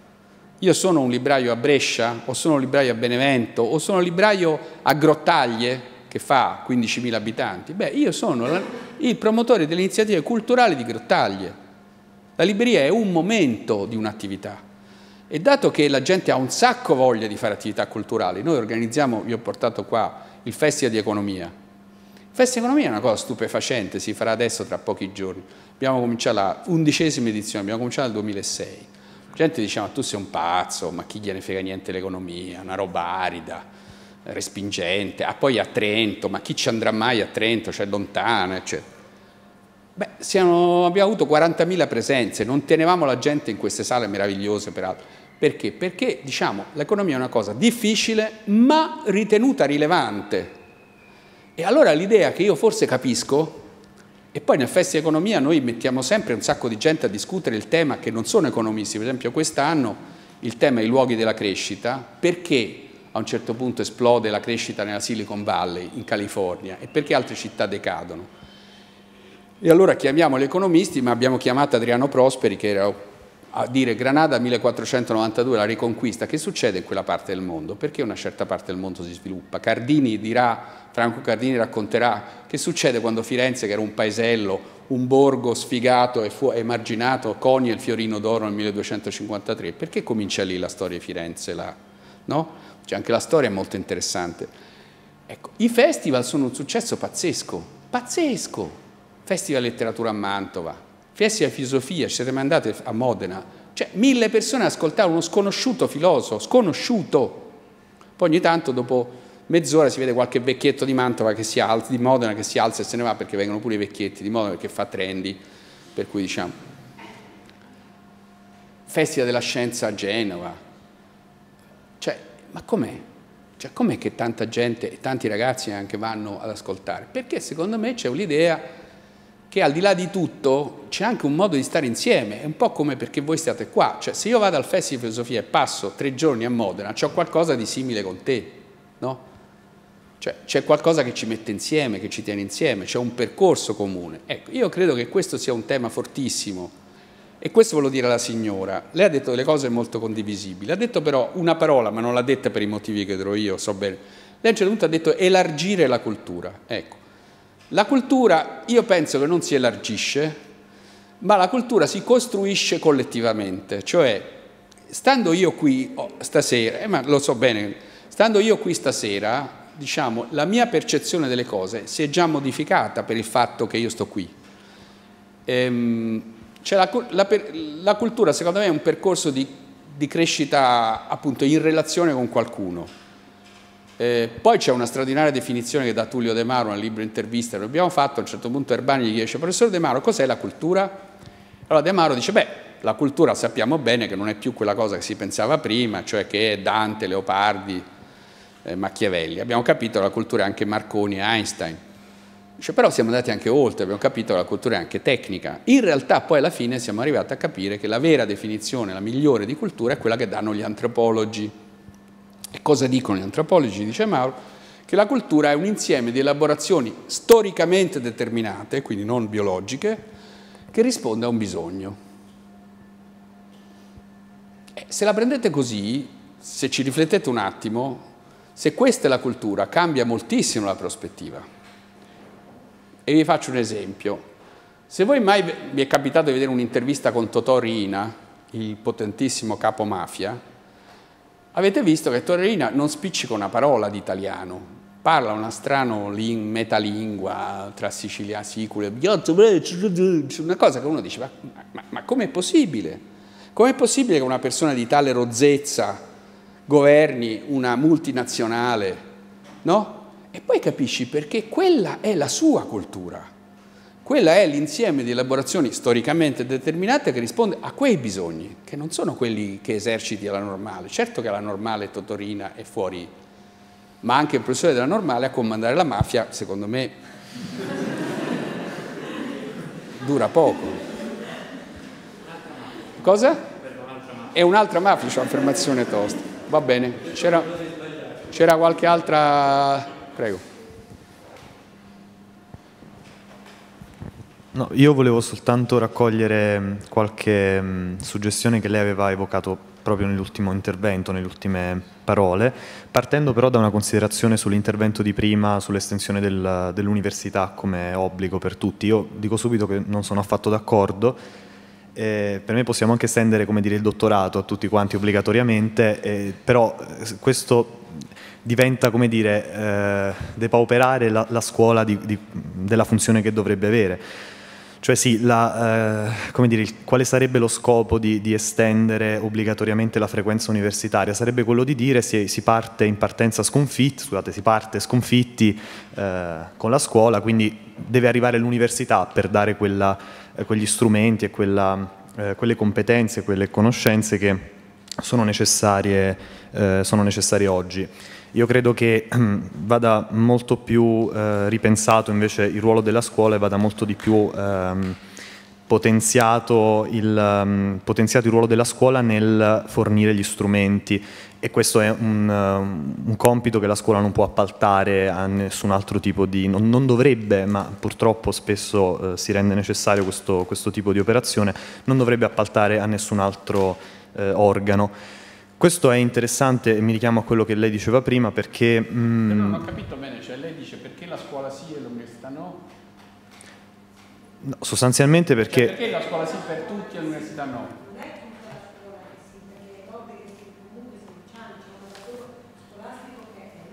Sicuramente, però mi dipende...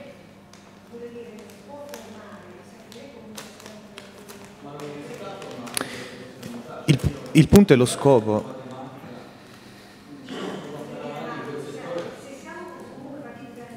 Però signora, posso dire una cosa? Lei non deve lei non deve interrompere chi parla, perché se no non, non utilizzerà queste cose intelligenti che lui dice, si precluderà questa possibilità. Sì, no, in realtà scusatemi se dico, sì, scusatemi se dico delle ingenuità. Io quello che ci tengo a dire è che almeno la mia idea è, è, quella che di fondo ci debba essere un, un pacchetto strumentale di base che deve essere fornito, poi l'università arriva dopo quando questo pacchetto strumentale dovrebbe essere già fornito. Quindi, non... quindi la scuola deve offrire solo un pacchetto strumentale? Essenzialmente un, degli cioè strumenti in grado... Insegnare a stare con gli altri? Anche quelli sono strumenti, credo, che si possano scrivere. Che, che strumento è stare con gli altri?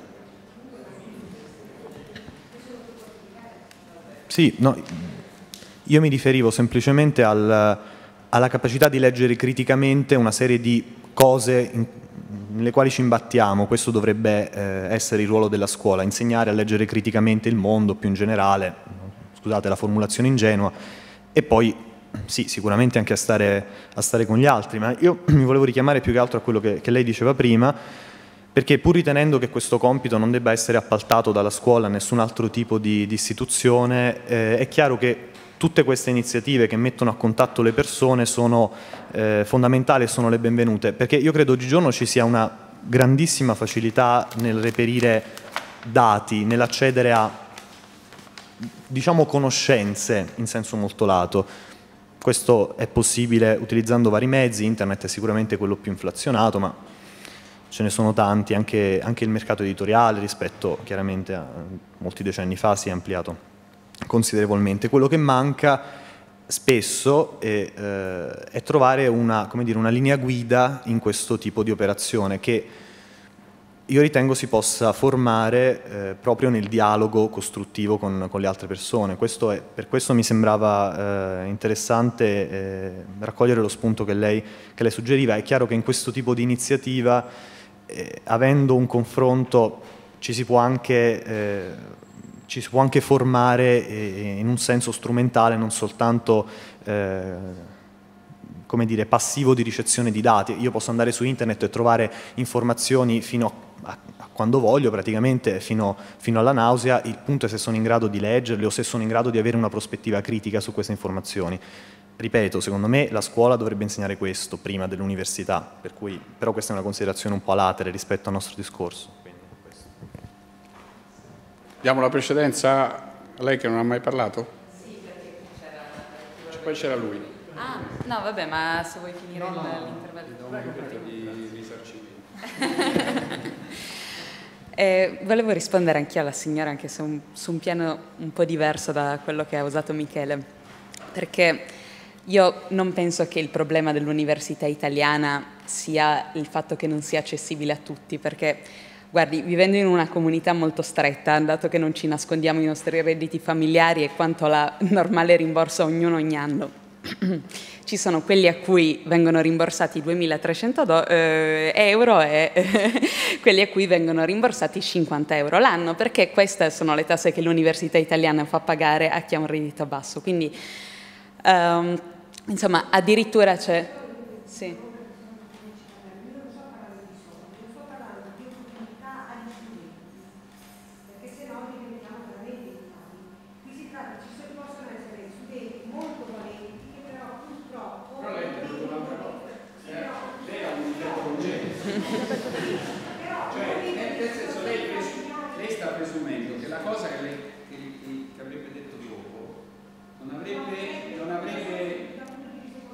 No, ho capito che le, l'elitarismo... Ma, mm.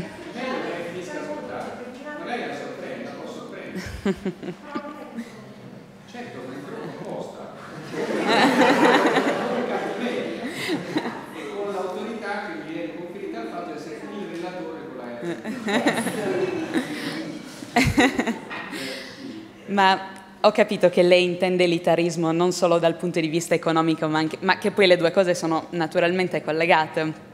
Nel senso, mh, la provenienza da un certo ambiente sociale che non, ehm, eh, non ritiene la cultura in grado eh, di garantire un percorso... No, ho capito, però guardi, prende in considerazione anche questo, il fatto che ehm, l'università sia così accessibile porta anche una svalutazione del percorso che può dare la cultura della carriera, che può assicurare una cultura. Non sto dicendo che mh, sono d'accordo con un maggiore elitismo dell'università, anzi tutt'altro, ma mi faccia prendere anche me l'opinione contraria.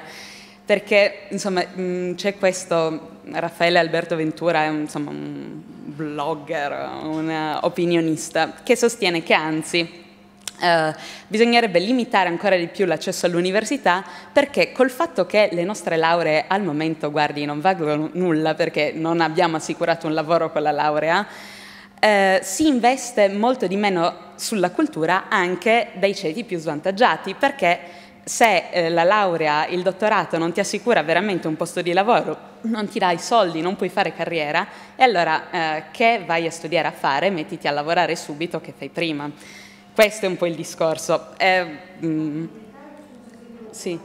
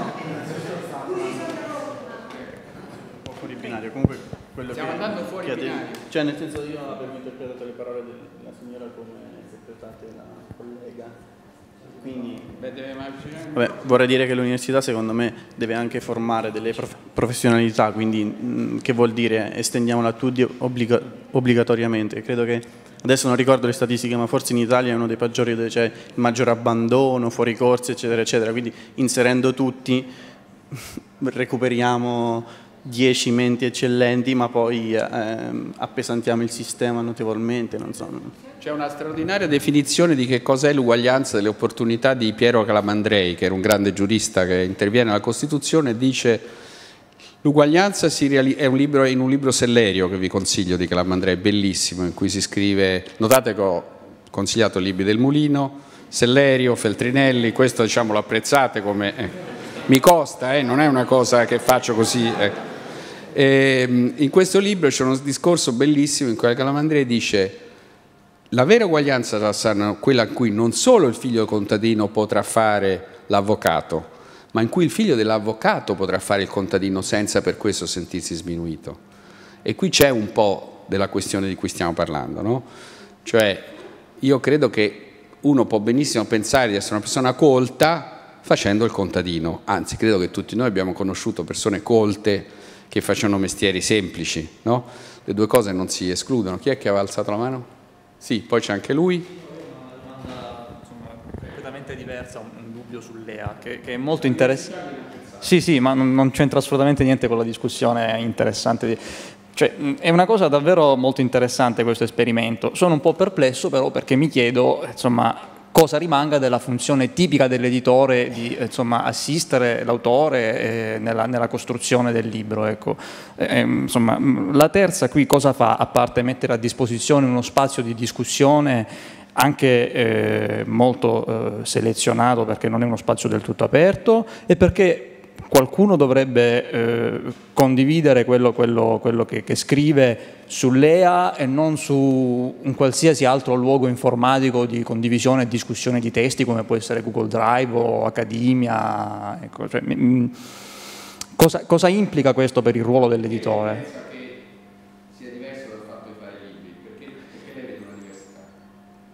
Beh, no, no non, non, vedo, una, cioè, non, non, capisco quale sia il ruolo della casa editrice.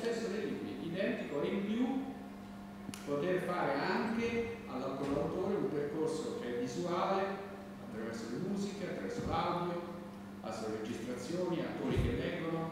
Pensi a questo libro, Luciano Canto, Ah, ecco, cioè comunque l'obiettivo è poi arrivare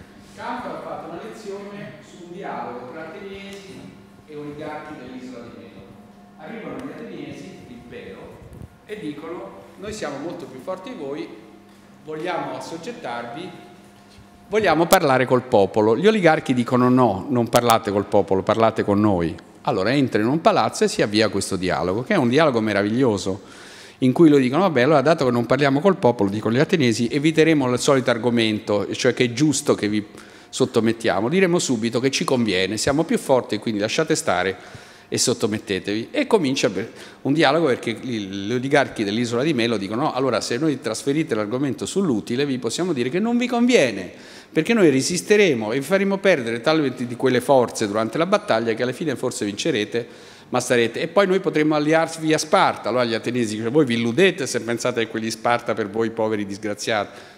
È un dialogo teatrale. Se io pubblico questo libro così, posso soltanto fare quello che ho fatto, cioè mettere il dialogo teatrale nel libro. Se io lo pubblico sull'EA, posso chiamare due fantastici attori e li faccio recitare. E voi andate sull'EA, trovate il libro, trovate il dialogo scritto e trovate due attori che recitano. Cioè posso fare una cosa in più. Il ruolo dell'editore, lungi dall'essere ridotto, viene fortemente il problema anzi è che si apre una prateria dentro la quale l'editore deve capire cosa può fare di nuovo. E la cosa interessante ovviamente è che fare l'editore non vuol dire mettere insieme come nelle certe cattive insalate ingredienti alla rinfusa, più ne metto e più funzionano, non è così, non è così, io posso mettere una frutta ma devo capire quale frutta insieme con il pollo o la, la lattuga o come in certe musiche, no? in cui dice che è bella, è una musica fusion, fa schifo, perché si sente la disco sotto, adesso voi siete troppo giovani, un tempo si facevano queste musiche la disco sotto e le musiche latine sopra, no? il melodico, cioè una roba rivoltante.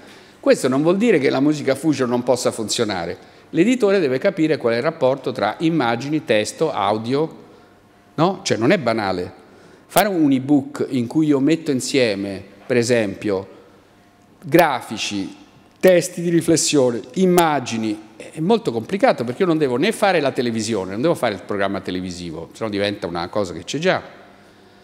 E però non, posso, non, devo neanche fare il libro illustrato in cui porta il testo e poi ogni tanto vedo la bella immagine. Devo fare un'altra cosa che finora non c'è, non è stata ancora prodotta, ma che secondo me arriverà, in cui l'attenzione dell'ascoltatore riesce a viaggiare tra diversi livelli di comprensione e di sensibilità e, e come dire, sensoriali senza perdere la qualità di nessuno di questi. Cosa niente affatto facile. Non so se ho risposto alla sua domanda. Okay. Ha vinto il premio, glielo passa al suo...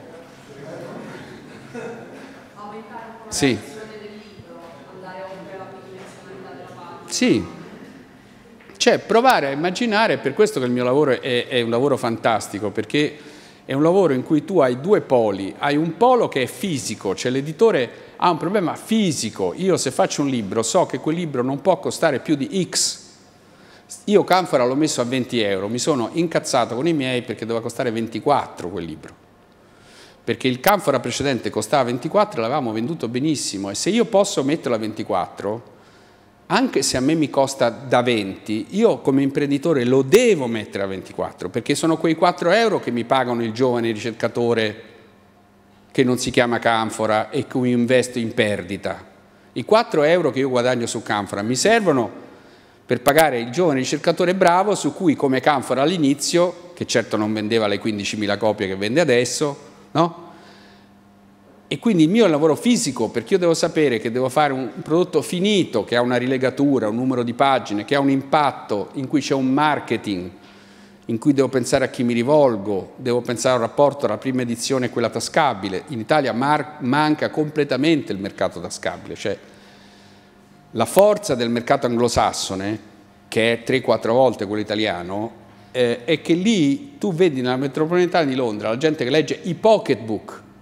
Quando noi abbiamo pubblicato una bellissima storia della mafia di John Dickey, giovane storico inglese, la mia prima edizione che ha funzionato erano 10.000 copie, l'edizione dell'editore inglese erano più o meno uguali.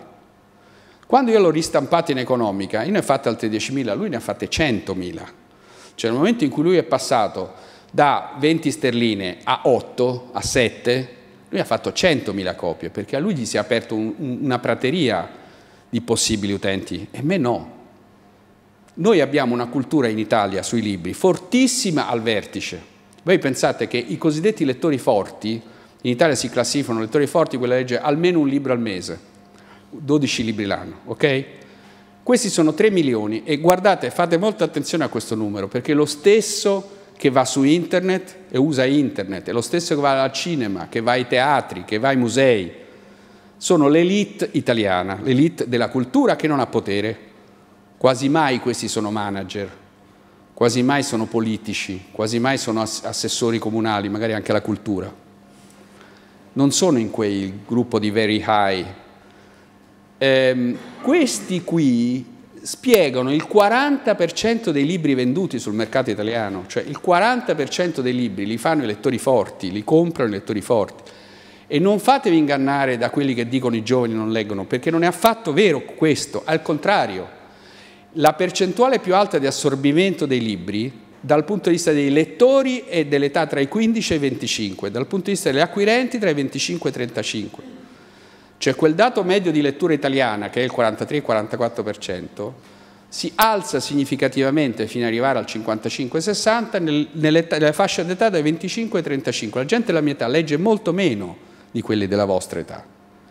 Il che non è vero per i giornali. I giornali è finita, cioè i lettori di giornali sono pochissimi e questo apre tutto un enorme altro capitolo. Che vuol dire informarsi attraverso Facebook? Cioè, quali informazioni mi arrivano dai miei amici? E se succede qualcosa di clamoroso che non interessa ai miei amici, io come vengo a saperlo? Ma questo me lo potete dire voi, insomma. Però i, ragazzi, i giovani leggono moltissimo i libri, o comunque li leggono di più di quelli di 50-60 anni. Non mi ricordo perché, perché avevo fatto tutto questo discorso. Non mi ricordo. Vabbè, questo è. C'è qualcuno di voi che si interessa di filosofia? lui ha alzato la mano prima. Questo per esempio è il caso di quel 4%. Lei si chiama Lea Ipi, è una ragazza albanese che è venuta qui senza una lira, strepitosa, di un'intelligenza clamorosa, ha vinto tutte le possibili borse di studio, ha fatto l'università a Roma e adesso è a Oxford. E ha fatto questo libro che si chiama Stato e avanguardie cosmopolitiche. Non, non è un libro che io capisco facilmente, ma forse lei sì. E comunque è un caso in cui quel libro sarà in perdita. Cioè l'abbiamo fatto perché abbiamo investito in una persona giovane che ci sembrava di grandissima qualità.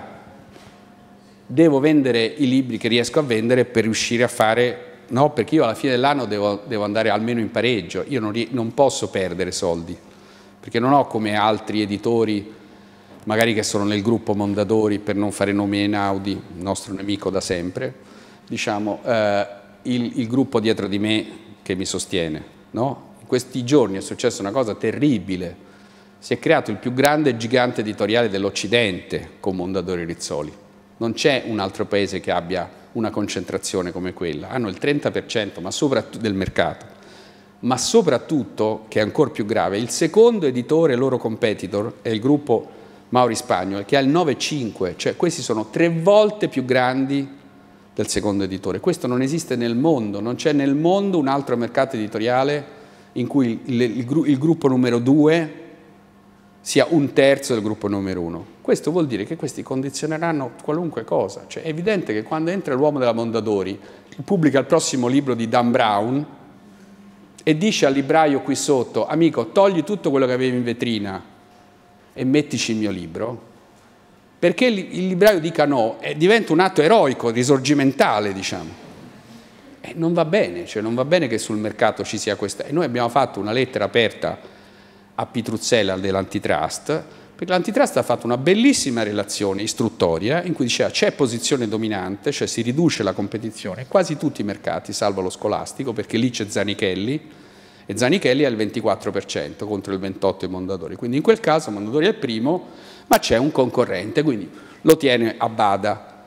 Hanno fatto questa istruttoria, dopodiché Mondadori gli ha fatto delle proposte tipo briciole e questi l'hanno accettata, hanno fatto qualche correttivo gli hanno imposto di vendere Bompiani a Rizzoli, quindi Mondadori, Bompiani e Marsilio che fanno al massimo il 3% del mercato. Rizzoli ne faceva l'11%, quindi voglio dire è un topolino.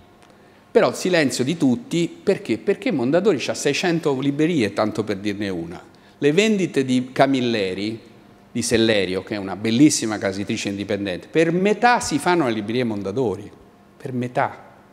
Mondadori è nella grande distribuzione, Mondadori è online, controlla le piattaforme di vendita degli ebook, oltre che, come sapete, Mondadori è parte di Mediaset, c'hanno i giornali, la televisione. E ma questo tipo di cultura in Italia non c'è perché purtroppo, tragicamente, in Italia l'economia sembra una cosa separata diciamo, dalla cultura. Sembra che la libertà del mercato non sia la stessa cosa della libertà del pensiero.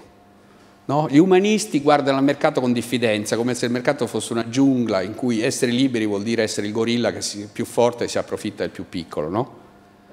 Per cui gridano alla censura se magari Mondadori cambia due righe, ma non hanno particolare sensibilità a questo tema, che invece è un tema fondamentale. In America l'antitrust è una cosa seria, ma anche in Europa hanno sanzionato Microsoft a un certo punto.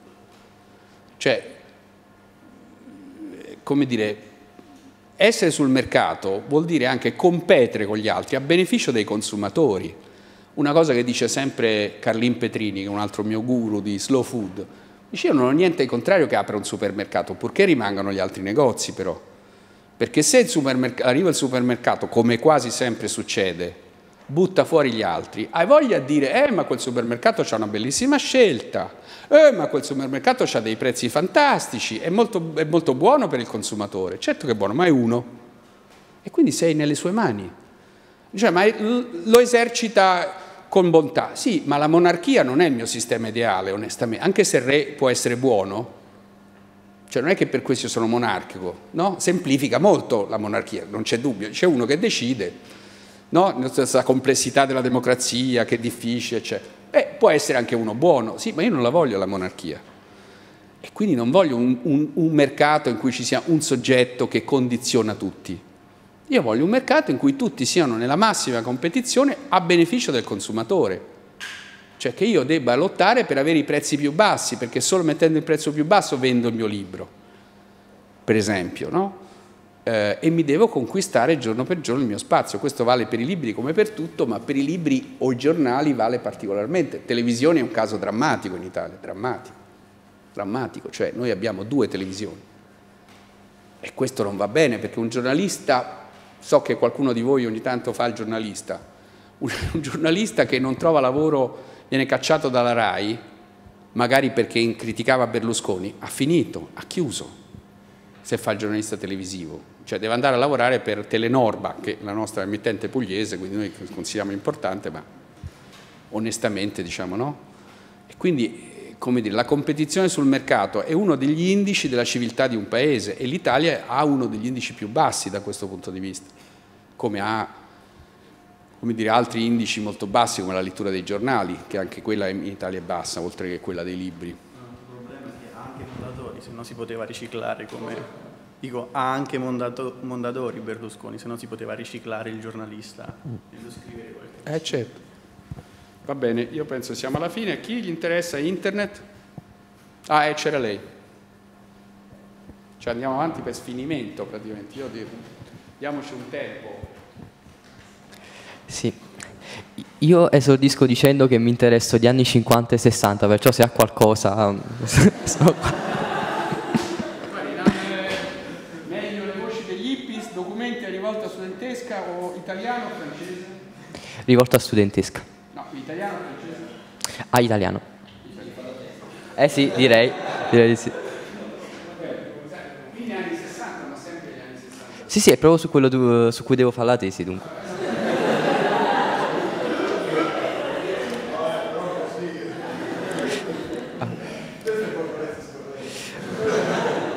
Dunque, andando alle, alle cose serie, per quanto riguarda l'argomento dell'università italiana, eh, credo, ovviamente pongo al- mm, a tutti quanti la questione, che l'università italiana non abbia la struttura per reggere il pubblico a cui è rivolta e questa è una, è una problematica cronica.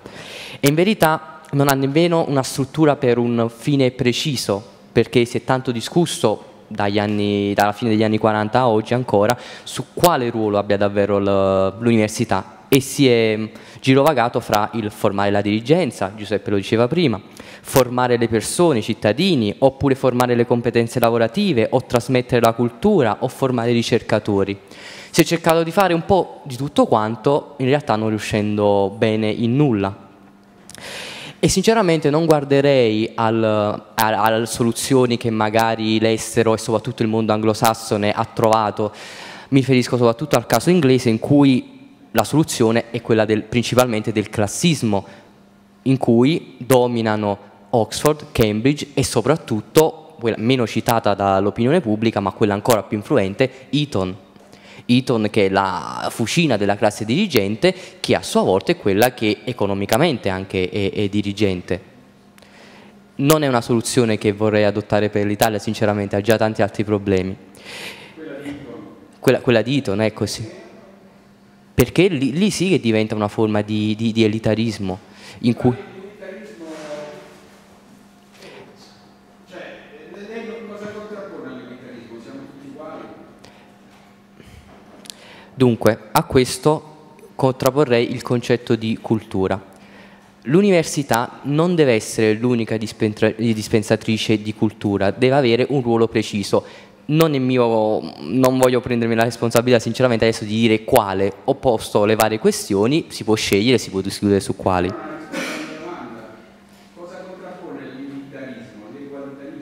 L'egualitarismo a livello sociale, ovvero una società che sia capace, con le sue strutture e le sue organizzazioni, di distribuire, di coltivare, di far costruire relazioni e dunque cultura, come diceva lei prima. E infatti Perché l'unitarismo non dovrebbe essere capace? Cioè, se io sono uno bravissimo per la matematica, un figo pazzesco che fin da quando avevo 7-8 anni c'è, e entro nell'elite dei matematici mondiali, che ci vede rimane? sì, Perché lei, lei pensa che io non trovo un confine, presume che io non trovo un elitarismo e meritocrazia. Io non so, non mi piace il termine meritocrazia, ma io mi chiedo, io sono abbastanza d'accordo con Canfora, cioè Canfora sostiene, non solo lui, che le elite ci sono sempre state. Il problema è la circolazione delle elite, cioè il problema è riuscire a cambiare queste elite in continuazione senza spargimento di sangue e sulla base di qualcosa che possibilmente non sia la casata, cioè sono elite perché sono figlio di quello, i soldi sono elite perché Warren Buffett e ormai l'uomo più ricco d'America hanno lasciato tutti i soldi, ergo tassazione progressiva altissima nella mia idea, cioè un buono che Marchione guadagna mille volte l'orario, questo mi ha dato al suo modo di parlare un po' campano. Eh, no, io sono pazzesco. Eh, Marchione guadagna mille volte l'operaio, io non ci niente di male. Marchione paga il 90% di progressiva, tanto che gli basta comunque incentivarlo a guadagnare mille volte. Dopodiché, l'elite, cioè, può esistere una società senza elite? Può esistere una società senza persone che guidano gli altri? Cioè, le avete viste? Nel 68 dice compagni decidiamo tutti insieme, questo al tasso nel mio liceo, decidiamo tutti insieme È l'assemblea che decide, era il periodo più elitario che ho mai visto.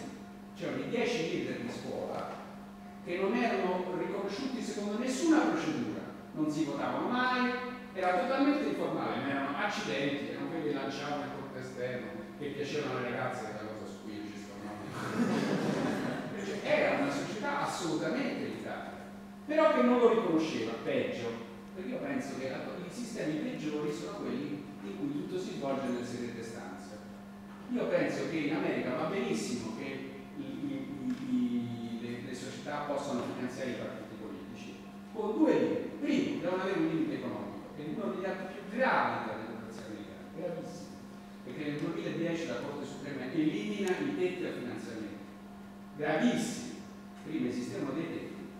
Io, multinazionale americana, devo dichiarare, sono industriale farmaceutica, eh, voto il candidato presidente, lo devo dichiarare in modo che tutti sapranno che quello farà delle politiche, no? E però c'è un tetto, no?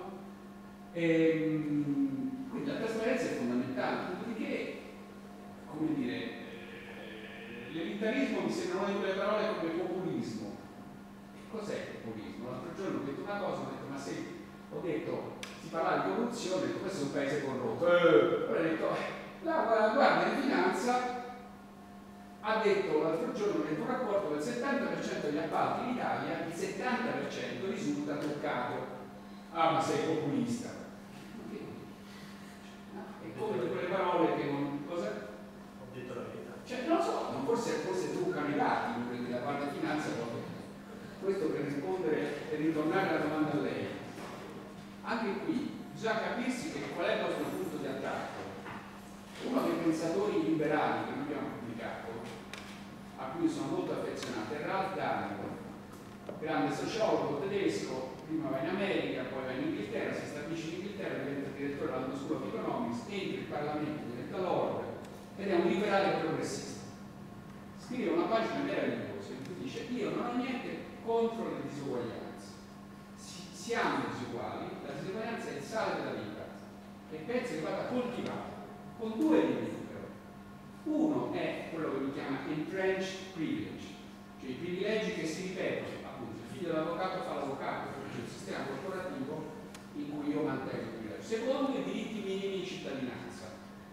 Non posso accettare che in una società in cui questa disuguaglianza si divari troppo ci sia gente che perde i diritti minimi. Naturalmente lì si apre la discussione quali sono i diritti minimi, la sanità, la scuola, il sussidio di disoccupazione, il reddito minimo di cittadinanza che oggi si discute e lì naturalmente cambia ruota secondo me. Però capisce che questo è un approccio molto diverso da quello della sinistra tradizionale, molto diverso, che parte apprezzando la diseguaglianza, non dicendo la diseguaglianza è un male, dicendo la diseguaglianza non c'è niente di male. Il problema è che limiti mettiamo al fatto che questa diseguaglianza diventi un dirompente della società c'è un punto oltre il quale la diseguaglianza rischia di rompere i rami sociali. Questo per me è molto importante, sa perché? Perché io penso che c'è stata una rivoluzione culturale in Occidente. Questa rivoluzione culturale nasce proprio dal 68, ma continua fino a Margaret Thatcher. Di questa rivoluzione culturale forse il simbolo più straordinario è Steve Jobs. Steve Jobs affonda le sue radici in California negli anni 60 nella cultura libertaria e poi diventa l'imprenditore più spregiudicato, cinico, opportunista che ci sia. Le due cose non hanno soluzione continuità. In realtà lui interpreta un'anima del 68 che aveva una parte comunitaria, cioè, aveva una parte assolutamente liberista. Eh, la canzone Chicago di Crosby, Steve Nash diceva no rules and regulation, who wants them? Non vogliamo regole, non vogliamo imposizioni. È una rivoluzione anticonformista. Fino agli anni 50 la gente che usciva dalla guerra, dal tram della guerra, si vestivano abbastanza simili, anche i giovani ballavano tutti uguali. Ma c'è un tempo ognuno si veste come gli pare, basta. Questo anticonformismo diventa a un certo punto liberismo, cioè nelle propagine italiane la presa di pure Berlusconi, forse come la, la, la, scuola, la libertà che non fa cazzo di pare, quella l'ha presa per il culo.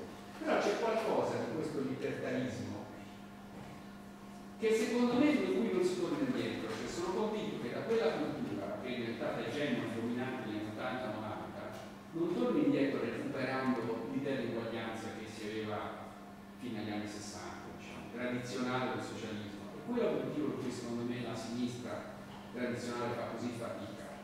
Perché la gran parte della gente non vuole essere uguale. La vera distinzione secondo me è quella che fa Amartya Sen, tra libertà positiva e libertà negativa, che ci vogliono libertà da lui fa l'esempio fantastico del, del parco, e dice la libertà che rivendica diciamo, la destra è la libertà negativa. Tu devi attraversare il parco senza che ti assaltino per rubarti il portafoglio, quindi ci vogliono le guardie, ci vuole la sicurezza. La libertà D è quella che rivendica la sinistra, ci vogliono gli scivoli per l'handicappati. Non basta che ci sia la sicurezza, ci vuole la libertà di accesso. Dice sempre, oh guardate che è un errore per la sinistra dire che ci vuole solo la.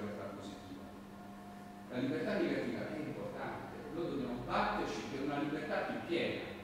E io credo che sia questo oggi il vero tema interessante da esplorare nel crinale politico, che magari non sarà più destra e sinistra, ma ci deve essere, perché senza il conflitto di idee non c'è democrazia. Io penso che questa sia una distinzione interessante, cioè quale libertà oggi noi poniamo? Qual è l'idea di libertà gli anni? No? Su questo si può legittimamente discutere con legittime divisioni tra posizioni diverse, tra uno che ha più libertà come autonomia individuale.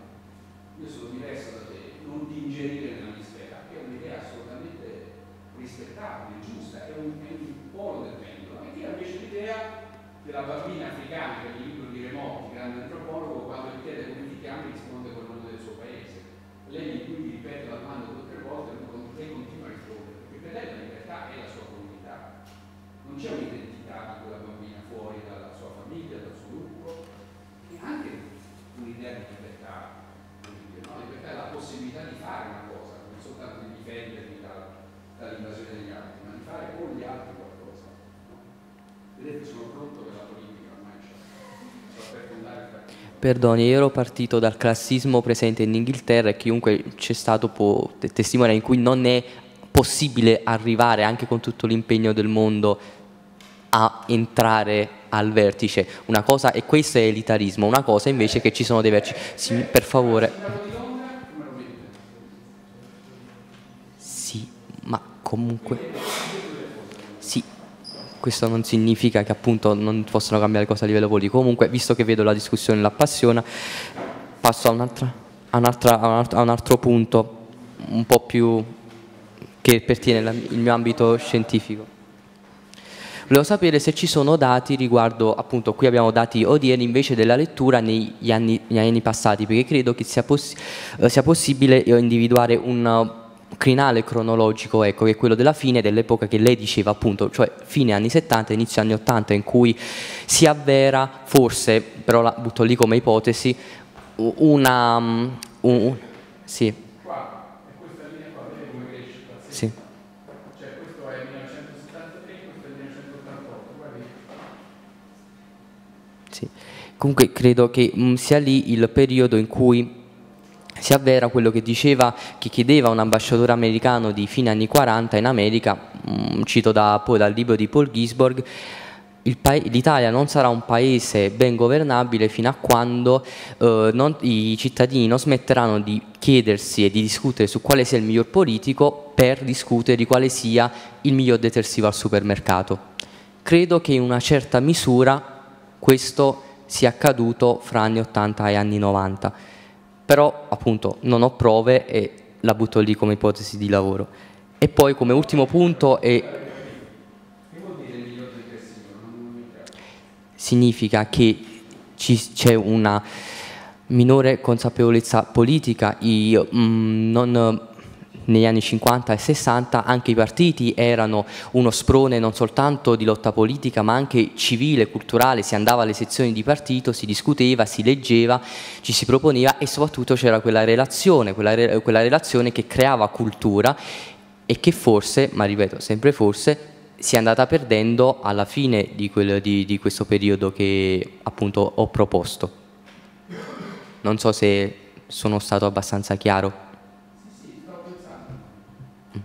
E poi l'ultimo punto molto veloce, ma davvero veloce, è il confronto fra esigenze di azienda contro quella di far discutere, perché qualche giorno fa, nemmeno tanto- tanti giorni fa, c'è stata una- un'altra persona del settore dell'editoria in- eh, che invece ci proponeva l'importanza semplicemente di fare profitto. Lavorare in un'agenzia editoriale era un'agenzia come tutte le altre che aveva bisogno di un profitto e dunque non soltanto bisognava pubblicare il libro colto, il libro interessante, ma anche il libro semplicemente che vendeva. Lei invece ci propone un'altra chiave di lettura del mestiere, che è quella appunto non di pubblicare il libro ottimo, ma il libro che fa discutere. Ecco, all'interno del suo mestiere, qual è il rapporto di forza, l'equilibrio che lei ha trovato appunto fra le esigenze editoriali anche di profitto che sono logiche e, ehm, e, no, e, normali e quelle invece culturali, cioè di pubblicare il libro che fa discutere, ma magari non fa vendere così tanto.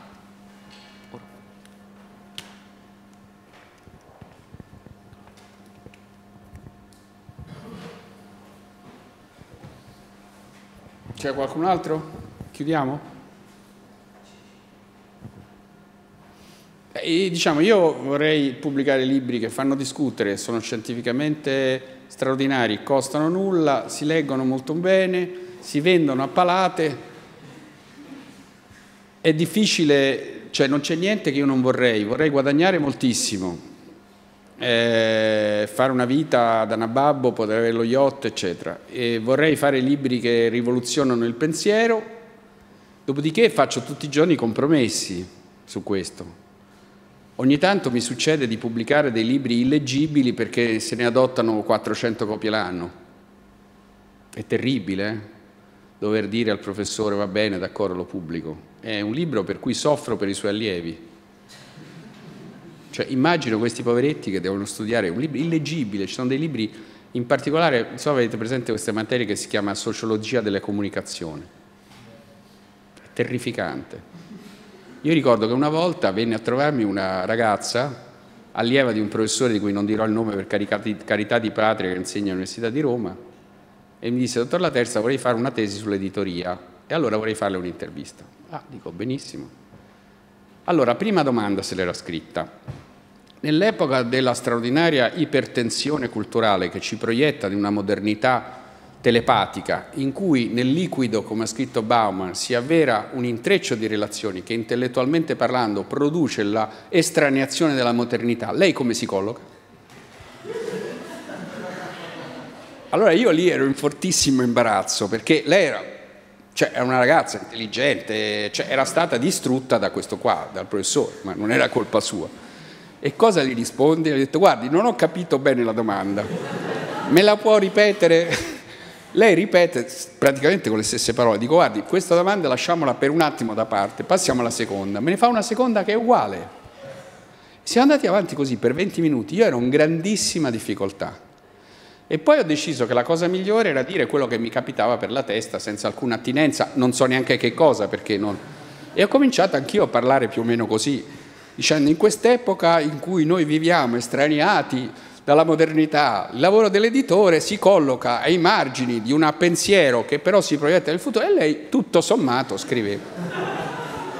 Ma mentre lei scriveva io dicevo, certo questi fanno danni irreversibili, ma c'è anche di peggio di così. Io ricordo una serata di compleanno di un illustre linguista eh, mi trovo vicino seduta una signora che insegna letteratura italiana all'Università di Roma. E si parla di giovani soliti discorsi da tavola, diciamo, in cui anche negli ambienti cosiddetti colti si dicono banalità assurde, e questi, questi giovani sono di un'ignoranza, i miei studenti sono di un'ignoranza, ma di un'ignoranza. Dico, ma, ma che cosa, cioè, mh, mm, fammi un esempio. Cioè, ma ti rendi conto? L'altro giorno nella mia classe eh, trovo uno che non aveva mai letto Calvino, non ha mai letto Calvino. Allora gli do il barone rampante, questo torna dopo un mese e cosa mi dice? Ma bellissimo, l'ho fatto leggere anche ai miei genitori, gli è piaciuto moltissimo, abbiamo parlato a casa. Ma ti rendi conto l'ignoranza? Allora io mi sono così tanto arrabbiato che ho detto, sai, eh, hai ragione, pensa che c'è chi non conosce il London Grammar. Cioè, naturalmente tu sai chi sono i London Grammar, un gruppo che ha fatto la cultura contemporanea e non conosce le parole del London Grammar. Non diciamo quelli che non conoscono Bruce Springsteen, vabbè ma il London Grammar non li conoscono, ma come si fa a vivere senza il London Grammar? Tu li hai ascoltati naturalmente. E questa, diciamo, non capendo che scherzavo, no? E questa anche lì fa danni irreversibili. C'è una persona così che dovrebbe fare i salti da terra, che quello ha letto Calvino, le ha fatto leggere ai suoi genitori. Questo vuol dire che quella famiglia è una famiglia che grazie ai libri, alla cultura, e tu gli hai fatto scoprire un mondo, tu dovresti essere felice. E invece vai in giro a dire che questa è l'ignoranza. Cioè, tu sei una bestia. No, ma così, ma veramente, tu sei una bestia. Cioè, sei stata messa lì, adesso non voglio dire perché è stata messa lì, c'entrava un altro signore di sesso maschile che stava sul tavolo, più anziano, più anziano di lei, più anziano di lei, parecchio più anziano di lei. E questa è la vergogna del sistema in cui purtroppo anche, anche l'università è dentro, perché non è che l'università è, è, fuori da questo mondo, partecipa degli stessi problemi del mondo no? in cui viviamo. E quindi la mia speranza è che però, diciamo, grazie ai testi che io vi ho dato sui documenti a rivolta studentesca, diciamo, si possa fare un liberismo di... Quando l'altro giorno facevo il volantinaggio nel Salone del Libro di Torino, tutti mi guardavano dicendo ma come, l'editore della terza mette a fare il volantinaggio, dicevo faccio liberismo movimentista, che è una specie diciamo rara, no? Cioè fare il movimentismo sul libero mercato sembra una cosa... E invece io credo che questo per esempio sia un tema, eh, abbiamo fatto una discussione in casa editrice su destra e sinistra, in cui c'erano due sinistre, quella più tradizionale e Pietro Reichling, che è un mio amico di di scuola molto caro che insegna la Luis e che viene considerato uno di destra. In realtà lui si considera uno di sinistra che dice il vero, grande, fondamentale investimento per dare uguaglianza eh, delle opportunità è l'educazione, è la formazione, è la ricerca. È molto più importante investire nell'università che mettere delle barriere all'ingresso della corporazione dei tassisti piuttosto che vincoli al licenziamento degli impiegati pubblici. Non, crea, non sono quelle che creano le garanzie che creano le opportunità. Le vere opportunità sono fare borse di studio, fare un vero sistema serio di borse di studio come quello che ha permesso all'EAIP di, di, di, di venire dall'Albania senza una lira e di, uscire di qui e andare a Oxford come una delle più brave, no?